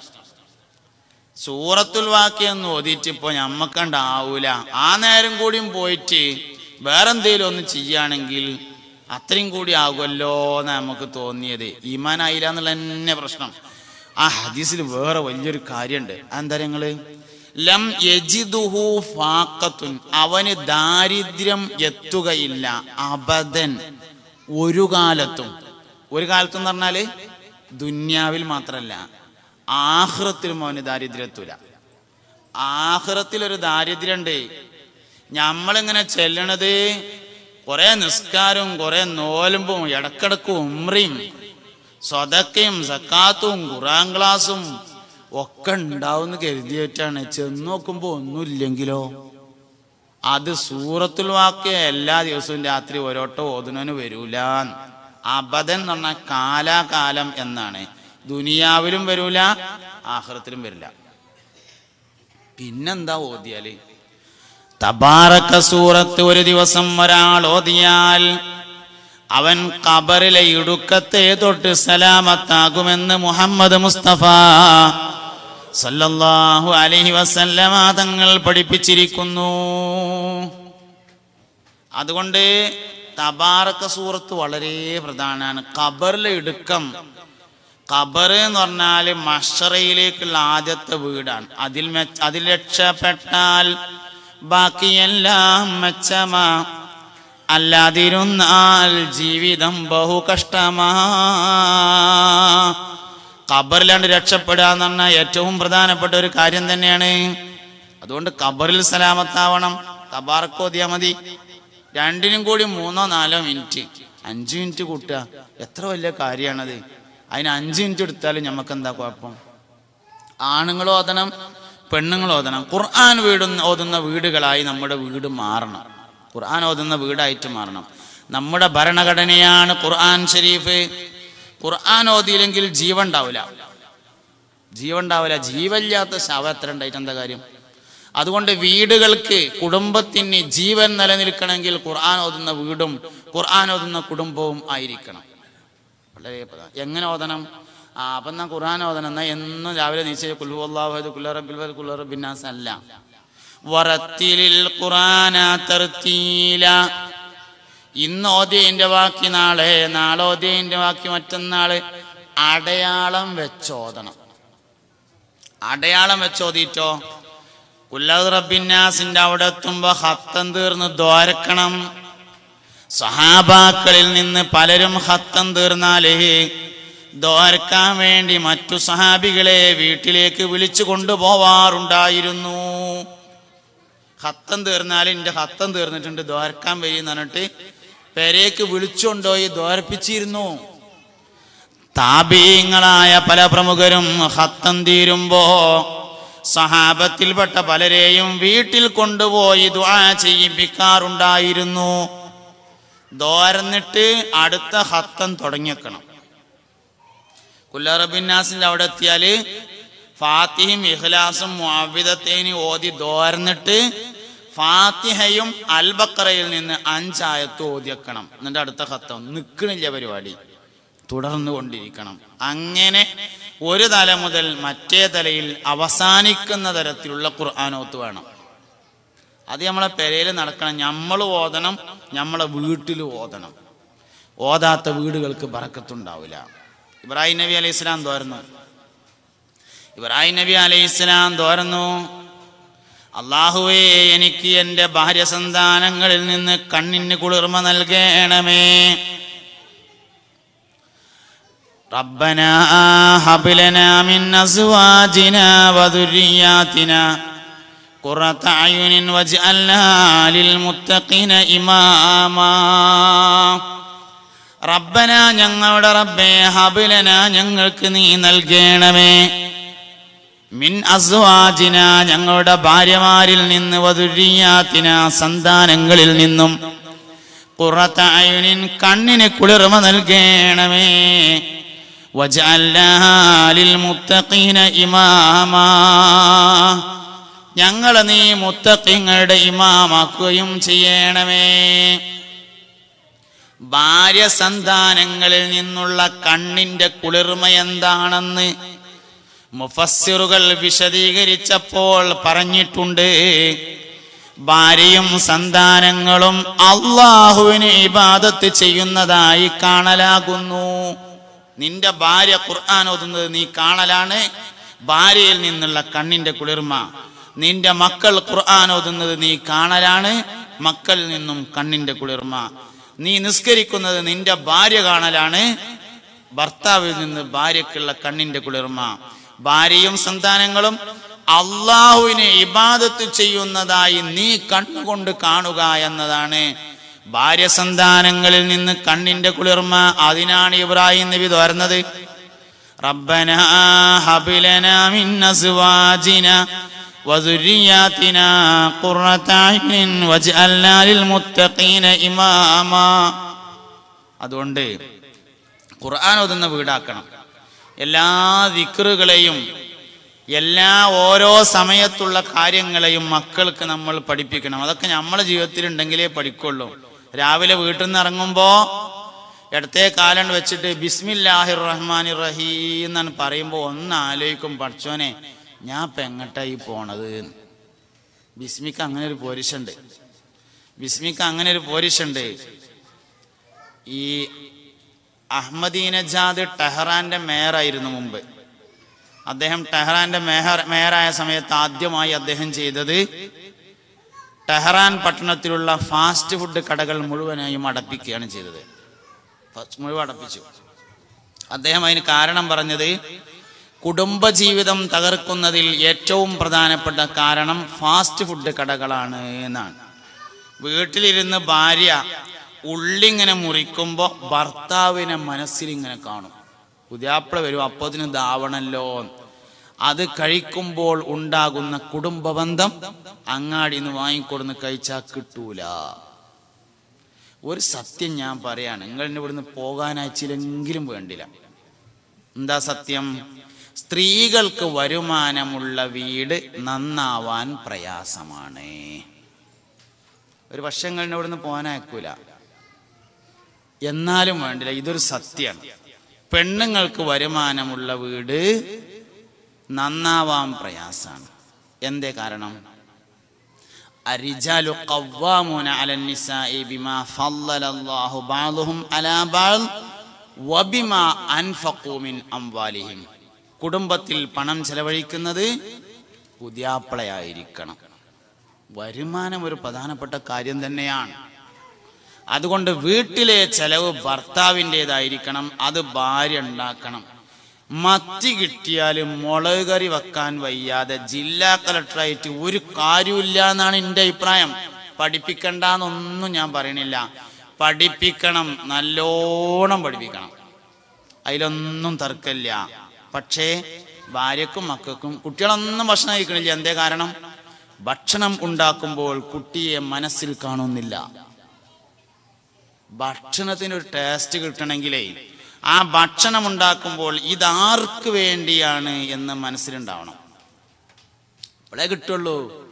ഭക്ഷണത്തിന്റെ ടേസ്റ്റ് എന്നുണ്ട് വേറെ സാധനത്തിൽ ചേർക്കണമെന്നല്ല ടേസ്റ്റ് എന്നുണ്ട് ഒരു സാധനം അതിൽ ചേർക്കൊന്നുമല്ല. ചേർക്കുന്ന സാധനമുണ്ട് അത് ഭക്ഷണത്തെ ടേസ്റ്റ് കൂട്ടണല്ല അത് നാവിലുള്ള രസകുമിളങ്ങളെ ഇളക്കി പുറപ്പെടുവിക്കുന്ന സാധനമാണ് അജിനാമോട്ടോ. അജിനാമോട്ടോ ചേർത്തതുകൊണ്ട് ഭക്ഷണത്തിന് രുചി കൂട്ടൂല. പിന്നെന്താ? നാവ് ശരിയാക്കുകയാണ് ചെയ്യുന്നത്. അത് ക്യാൻസറിന് കാരണമാവും ചെയ്യും. മാരകമായ അസുഖങ്ങൾക്ക് കാരണമാകും. ഭക്ഷണത്തിന്റെ ടേസ്റ്റ് എന്ന് പറഞ്ഞാൽ അതൊന്നുമല്ല. ഭക്ഷണം ഉണ്ടാക്കുമ്പോൾ ആരെയാണ് മനസ്സിൽ കാണുന്നത് എന്നാണ്.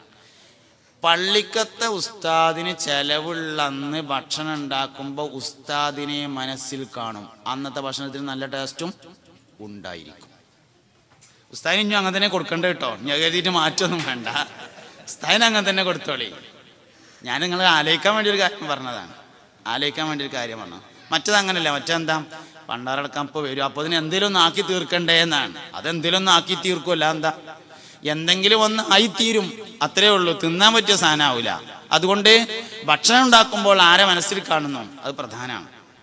ഞാനത് പറഞ്ഞ എന്തിനാ വെച്ചാൽ തീയ്യങ്ങനാണ് കത്തിക്കുമ്പോ കത്തിക്കുമ്പോൾ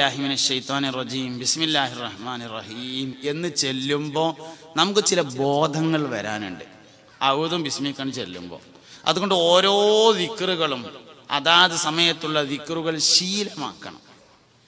പലതും അറിയാതെ ഇങ്ങനെ വന്നു പോകണം അല്ലെങ്കിൽ നമ്മൾ മറക്കും. അപ്പൊ ശീലമാകുന്നത് വരെ ശ്രദ്ധിച്ച് നമ്മൾ ചെയ്യുകയും കുടുംബത്തിന്റെയും നമ്മുടെയും ശീലമാക്കി അത് മാറ്റുകയും വേണം. അങ്ങനെയുള്ള നല്ല കുടുംബങ്ങളായി മാറണം. അള്ളാഹു തോഫീച്ചിട്ടെ അള്ളാഹു ഇഷ്ടപ്പെടുന്ന സ്വാലിഹായ നല്ല മക്കളായി അള്ളാഹു നമ്മുടെ മക്കളെ മാറ്റിത്തരട്ടെ. ഇരുലോക വിജയികളിൽ അള്ളാഹു നമ്മളെല്ലാവരെയും ചേർക്കട്ടെ. അർഹമുറാഹിമായ മരിക്കുൽ ജബ്ബാറായ രാജസയ്യദായ തമ്പുരാനെ ഞങ്ങൾ പറഞ്ഞതും കേട്ടതും സാലിഹായ മലായി കബൂലാക്കണേ അള്ളാഹ് ഞങ്ങൾ ഇന്ന് വന്നുപോയ എല്ലാ ചെറുതും വലുതുമായ തെറ്റുകുറ്റങ്ങളെ വിട്ടുപുറത്ത് മാഫാക്കണേ റഹ്മാനെ. അർഹമുറാഹിമായ റഹ്മാനെ ഞങ്ങളുടെ ദോഷങ്ങൾ കാരണമായി ഞങ്ങൾ ആരെയും നീ ശിക്ഷിക്കല്ല റഹ്മാനെ. ജീവിതത്തിന്റെ എല്ലാ പ്രയാസങ്ങളെയും ദൂരീകരിക്കണേ തമ്പുരാനെ. അള്ളാഹുവെ കടക്കാരായി മരിപ്പിക്കല്ല റബ്ബേ. കടങ്ങളെ വീട്ടി സലാമത്തിലാക്കണേ തമ്പുരാനെ. മാലിലും മൗലാദിലും അസുവാജിലും ബുയൂത്തിലും നീ ഞങ്ങൾക്ക് പറക്കത്ത് ചെയ്യണം തമ്പുരാനെ. ഞങ്ങളുടെ മക്കളെ സ്വാലിഹീങ്ങളാക്കല്ലാ ദുനിയാവിലും നാളെ ആഹ്റത്തിലും ഉപകാരമുള്ള മക്കളാക്കണേ തമ്പുരാനെ. പരിശുദ്ധമായ ഖുർആൻ ഷരീഫ് നാളെ ഷഫാത്ത് ചെയ്യുന്ന സജ്ജനങ്ങളിൽ ചേർക്കണേ റഹ്മാനെ. ഞങ്ങളുടെ ഭാര്യമാരെ ഭർത്താക്കന്മാരെ സ്വാലിഹീങ്ങളും സ്വാലിഹാത്തുകളുമാക്കണേ റഹ്മാനെ. കിലോമീറ്ററുകളോളം ദൂരത്ത് വന്ന് ജീവിതത്തിന്റെ രണ്ടറ്റങ്ങൾ കൂട്ടിമുട്ടിക്കാൻ വേണ്ടി അധ്വാനിക്കുന്നു ഞങ്ങളല്ല. കെട്ടിപ്പൊതിഞ്ഞ മയ്യത്ത് നാട്ടിലെ കയക്കല്ല തമ്പുരാനെ നീ ഞങ്ങൾക്ക് സംരക്ഷണം ഏർപ്പെടുത്തണേ റഹ്മാനെ. യാത്രയിലും നാട്ടിലും ജീവിതത്തിലും നീ ഞങ്ങൾക്ക് തുണയാവണം തമ്പുരാനെ. അള്ളാഹുവേ സ്വർഗത്തിൽ ഒരുമിച്ച് കൂടാനുള്ള അമലാക്കി ഞങ്ങളിൽ നിന്ന് ഇതിനെ കബൂലാക്കണേ റഹ്മാനെ. പടച്ചവനെ ഞങ്ങൾ കഴിക്കുന്ന ഭക്ഷണങ്ങളിൽ നീ പറക്കത്ത് ചെയ്യണം തമ്പുരാനെ. ഞങ്ങളുടെ ജോലികളിലും വരുമാനങ്ങളിലും നീ ഞങ്ങൾക്ക് പറക്കത്ത് നൽകല്ല ഇത്തരത്തിലുള്ള ദീനീ പ്രവർത്തനങ്ങൾ സംഘടിപ്പിക്കാൻ അധ്വാനിക്കുന്ന ഒരുപാട് ആളുകളുണ്ട്. തക്കമായ പ്രതിഫലം നൽകണേ റഹ്മാനെ. അവരുടെ എല്ലാ മുറാദുകളെയും നീ ഹാസിലാക്കണേ തമ്പുരാനെ. ഈ ഒരുമിച്ച് കൂടിയത് നിന്റെ ഇഷ്ടത്തിലാക്കണേ തമ്പുരാനെ. നിന്റെ ത്വാത്തിലാക്കണേ റഹ്മാനെ. ഒരുപാട് തവണ ഹജ്ജും ഉംറയും സിയാറത്തും ചെയ്യാൻ ഞങ്ങൾക്ക് ഭാഗ്യം നൽകല്ല. ഞങ്ങളുടെ ആയുസ്സിലും ഞങ്ങളുടെ അമലുകളിലും ഞങ്ങളുടെ ഇൽമുകളിലും നീ ഞങ്ങൾക്ക് ബറക്കത്ത് ചെയ്യണം തമ്പുരാനെ. അർഹമുറാഹിമായ റബ്ബെ സഹിക്കാൻ കഴിയാത്ത രോഗങ്ങളെ കൊണ്ട് പരീക്ഷിക്കല്ല റഹ്മാനെ. കീറിമുറിക്കുന്ന രോഗങ്ങളെ തൊട്ട് കാത്തു സലാമത്തിലാക്കണേ തമ്പുരാനെ. അധ്വാനിച്ച പണം മുഴുവൻ ചെലവഴിച്ചാലും മരണത്തിന് കീഴടങ്ങേണ്ടി വരുന്ന രോഗങ്ങളെ തൊട്ട് രക്ഷപ്പെടുത്തല്ല. ഞങ്ങളുടെ മക്കളെ സ്വാലിഹീങ്ങളാക്കണേ റഹ്മാനെ. ആണും പെണ്ണുമായ മക്കൾക്ക് അനുയോജ്യരായ ഇണകളെ നൽകണേ റഹ്മാനെ. ഞങ്ങളുടെ കുടുംബത്തെ നീ സംരക്ഷിക്കണേ റഹ്മാനെ. മരണപ്പെട്ടു പോയ മാതാപിതാക്കൾക്ക് നീ മകഫിറത്തും റഹമത്തും നൽകണേ റഹ്മാനെ. ജീവിച്ചിരിക്കുന്നവർക്ക് ദീർഘായുസും ആഫിയത്തും കൊടുക്കല്ല. ഞങ്ങളെ സഹായിച്ചവരെ നീ സഹായിക്കണേ റഹ്മാനെ. അള്ളാഹുവെ ഒരുപാട് ആളുകൾക്ക് വേണ്ടി ദ്വാ ചെയ്യാൻ ആവശ്യപ്പെട്ടിട്ടുണ്ട് ഞങ്ങളുടെ സുഹൃത്ത്. മൻസൂർ തയ്യിൽ രണ്ട് ദിവസം മുമ്പ് മരണപ്പെട്ടിരിക്കുന്നു. അള്ളാഹുവേ അദ്ദേഹത്തിന് നീ മഹഫറത്ത് നൽകല്ല. അവരുടെ പരലോക ജീവിതം നീ റാഹത്തിലാക്കല്ലാഹ. ഞങ്ങളിൽ നിന്ന് മരണപ്പെട്ടു പോയ എല്ലാവരുടെയും കബറിനെ സ്വർഗത്തൂപ്പാക്കണേ റഹ്മാനെ. പ്രകാശം കൊണ്ട് നിറക്കണേ റഹ്മാനെ. ഞങ്ങളുടെയും കബറിനെ നീ പ്രകാശമാക്കണേ റഹ്മാനെ. ദുനിയാവിലും ആഹുറത്തിലും സലാമത്താക്കണേ റഹ്മാനെ. മരിക്കുന്നതിന് മുമ്പ് മരണത്തെക്കുറിച്ച് സൂചന ലഭിക്കുന്ന സജ്ജനങ്ങളിൽ ചേർക്കണേ റഹ്മാനെ. മരിക്കുന്നതിന് മുമ്പ് മനസ്സറിഞ്ഞ് തൗബ ചെയ്യാൻ ഞങ്ങൾക്ക് നീ അവസരം നൽകണേ റഹ്മാനെ എല്ലാവരും കണ്ടു നിൽക്കെ കട്ടിലിൽ കിടന്ന് ലാ ഇലാഹ ഇല്ലല്ലാ എന്ന് ഉറക്ക ചൊല്ലി മരിക്കാൻ ഞങ്ങൾക്ക് നീ തൗഫീക്ക് നൽകല്ലാ اللهم اجعل جمعنا هذا جمعا مرهوما وتفرقنا من بعده تفرقا معصوما ولا تجعل منا ولا فينا ولا معنا شقيا ولا مطرودا ولا مهروما. آمين برحمتك يا أرحم الراحمين بفضل صلى الله على محمد. صلى الله عليه وسلم. صلى الله على محمد. صلى الله عليه وسلم اللهم صل على محمد يا ربي صل عليه وسلم എല്ലാവരും ദുആ ചെയ്യണം അസ്സലാമു അലൈക്കും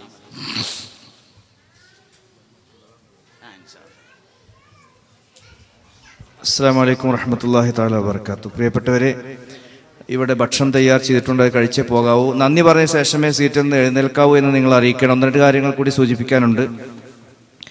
നമുക്കറിയാം ഷംസുൽ ഉലമ ഇ കെ അബൂബക്കർ മുസ്ലിയ നവർ അള്ളാഹു മർക്കദഹു അമീൻ മഹാനവറുകൾ സമസ്തയുടെ ഊന്നുവടി എന്ന് വിശേഷിപ്പിച്ച സുന്നി യുവജന സംഘം. അലഹമില്ല ഈ പ്രവാസ ലോകത്തും നല്ല പ്രവർത്തനങ്ങളുമായി പ്രാസ്ഥാനിക പ്രവർത്തനങ്ങളുമായി കുടുംബ ക്ലാസ്സുകളുമായി ഒക്കെ ഇവിടെ പ്രവർത്തിക്കുന്നുണ്ട് എന്ന് നിങ്ങൾക്കൊക്കെ അറിയുന്നതാണ്.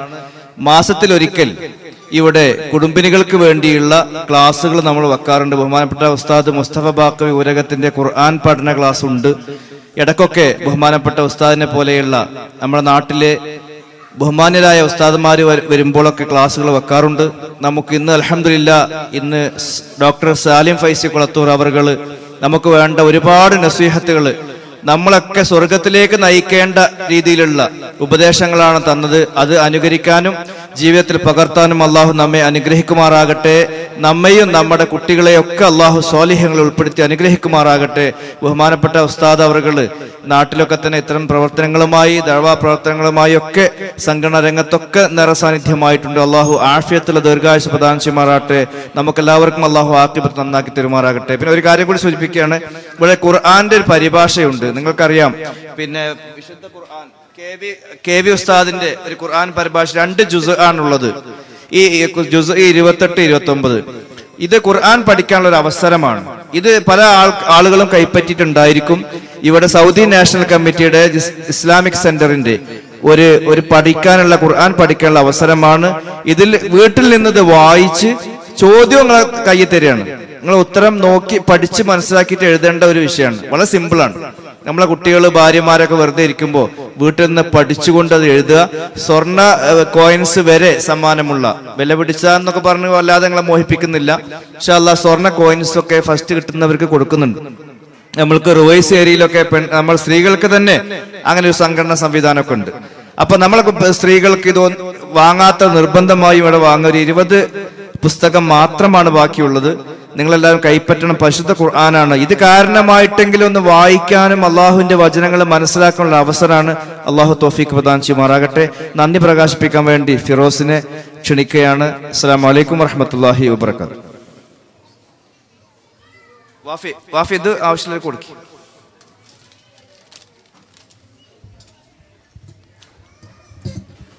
അസ്സാം വലൈക്കും വറഹമത്തല്ലാഹി വബർക്കാത്തു ബിസ്മില്ലാഹി റഹ്മാൻ റഹീം. അലഹമുല്ലാഹി റബ്ബിൽ ആലമീൻ വസ്സലാം വല റസൂലില്ലാഹി സ്വല്ലല്ലാഹു അലഹി വസ്ലം വല അലഹി വസഹബി അജ്മൈൻ അത്രയും സ്നേഹ ബഹുമാനം നിറഞ്ഞ സയ്യിദന്മാരെ ഉസ്താദുമാരെ രക്ഷിതാക്കളെ സഹോദരി സഹോദരന്മാരെ. അലഹമുല്ല നമ്മൾ ഇന്ന് അൽമബദ്ധയുടെ ഈ കുടുംബ വേദിയിൽ നമ്മൾ ഒത്തുകൂടിയിരിക്കുകയാണ്. അള്ളാഹുവിന്റെ അനുഗ്രഹത്താൽ നമുക്ക് ഉസ്താദിന്റെ ഈ പ്രഭാഷണം നുകരാൻ സാധിച്ചു. നമ്മുടെ ഈ ഒത്തുകൂടലും നമ്മുടെ ഈ പരിപാടിയും ഒരു സ്വാലിഹ അമലായി അള്ളാഹു നമ്മിൽ നിന്നും സ്വീകരിക്കുമാറാവട്ടെ. ആമീൻ എന്ന് പ്രാർത്ഥിക്കുകയാണ്. അതുപോലെ ഞാൻ സമയത്തിന്റെ ആധിക്യം മൂലം കൂടുതൽ ദീർഘിപ്പിക്കുന്നില്ല. എന്റെ ഔദ്യോഗിക കർത്തവ്യത്തിലേക്ക് ഞാൻ പ്രവേശിക്കുകയാണ്. നമുക്ക് ഇന്ന് വളരെ ഇൻഫോർമേറ്റീവ് ആയിട്ടുള്ള വളരെ വിജ്ഞാനപ്രദമായിട്ടുള്ള പ്രഭാഷണം ചെയ്തുകൊണ്ട് നമ്മുടെ വേദിയെ അനുഗ്രഹീതമാക്കിയ ഉസ്താദ് ഡോക്ടർ സാലിം ഫൈസി അദ്ദേഹത്തിന് വേണ്ടി അൽമവദ്ദയുടെ പേരിലും അതുപോലെ S Y S S K I C Jeddah Islamic centre ഇവിടെ എല്ലാ- എല്ലാവരുടെ എല്ലാത്തിന്റെയും പേരിലും അതുപോലെ ജിദ്ദയിലെ സുന്നി സമൂഹത്തിന്റെ ഒരായിരം നന്ദിയും കടപ്പാടും സ്നേഹവും ഞങ്ങൾ ഇവിടെ അറിയിക്കുകയാണ്.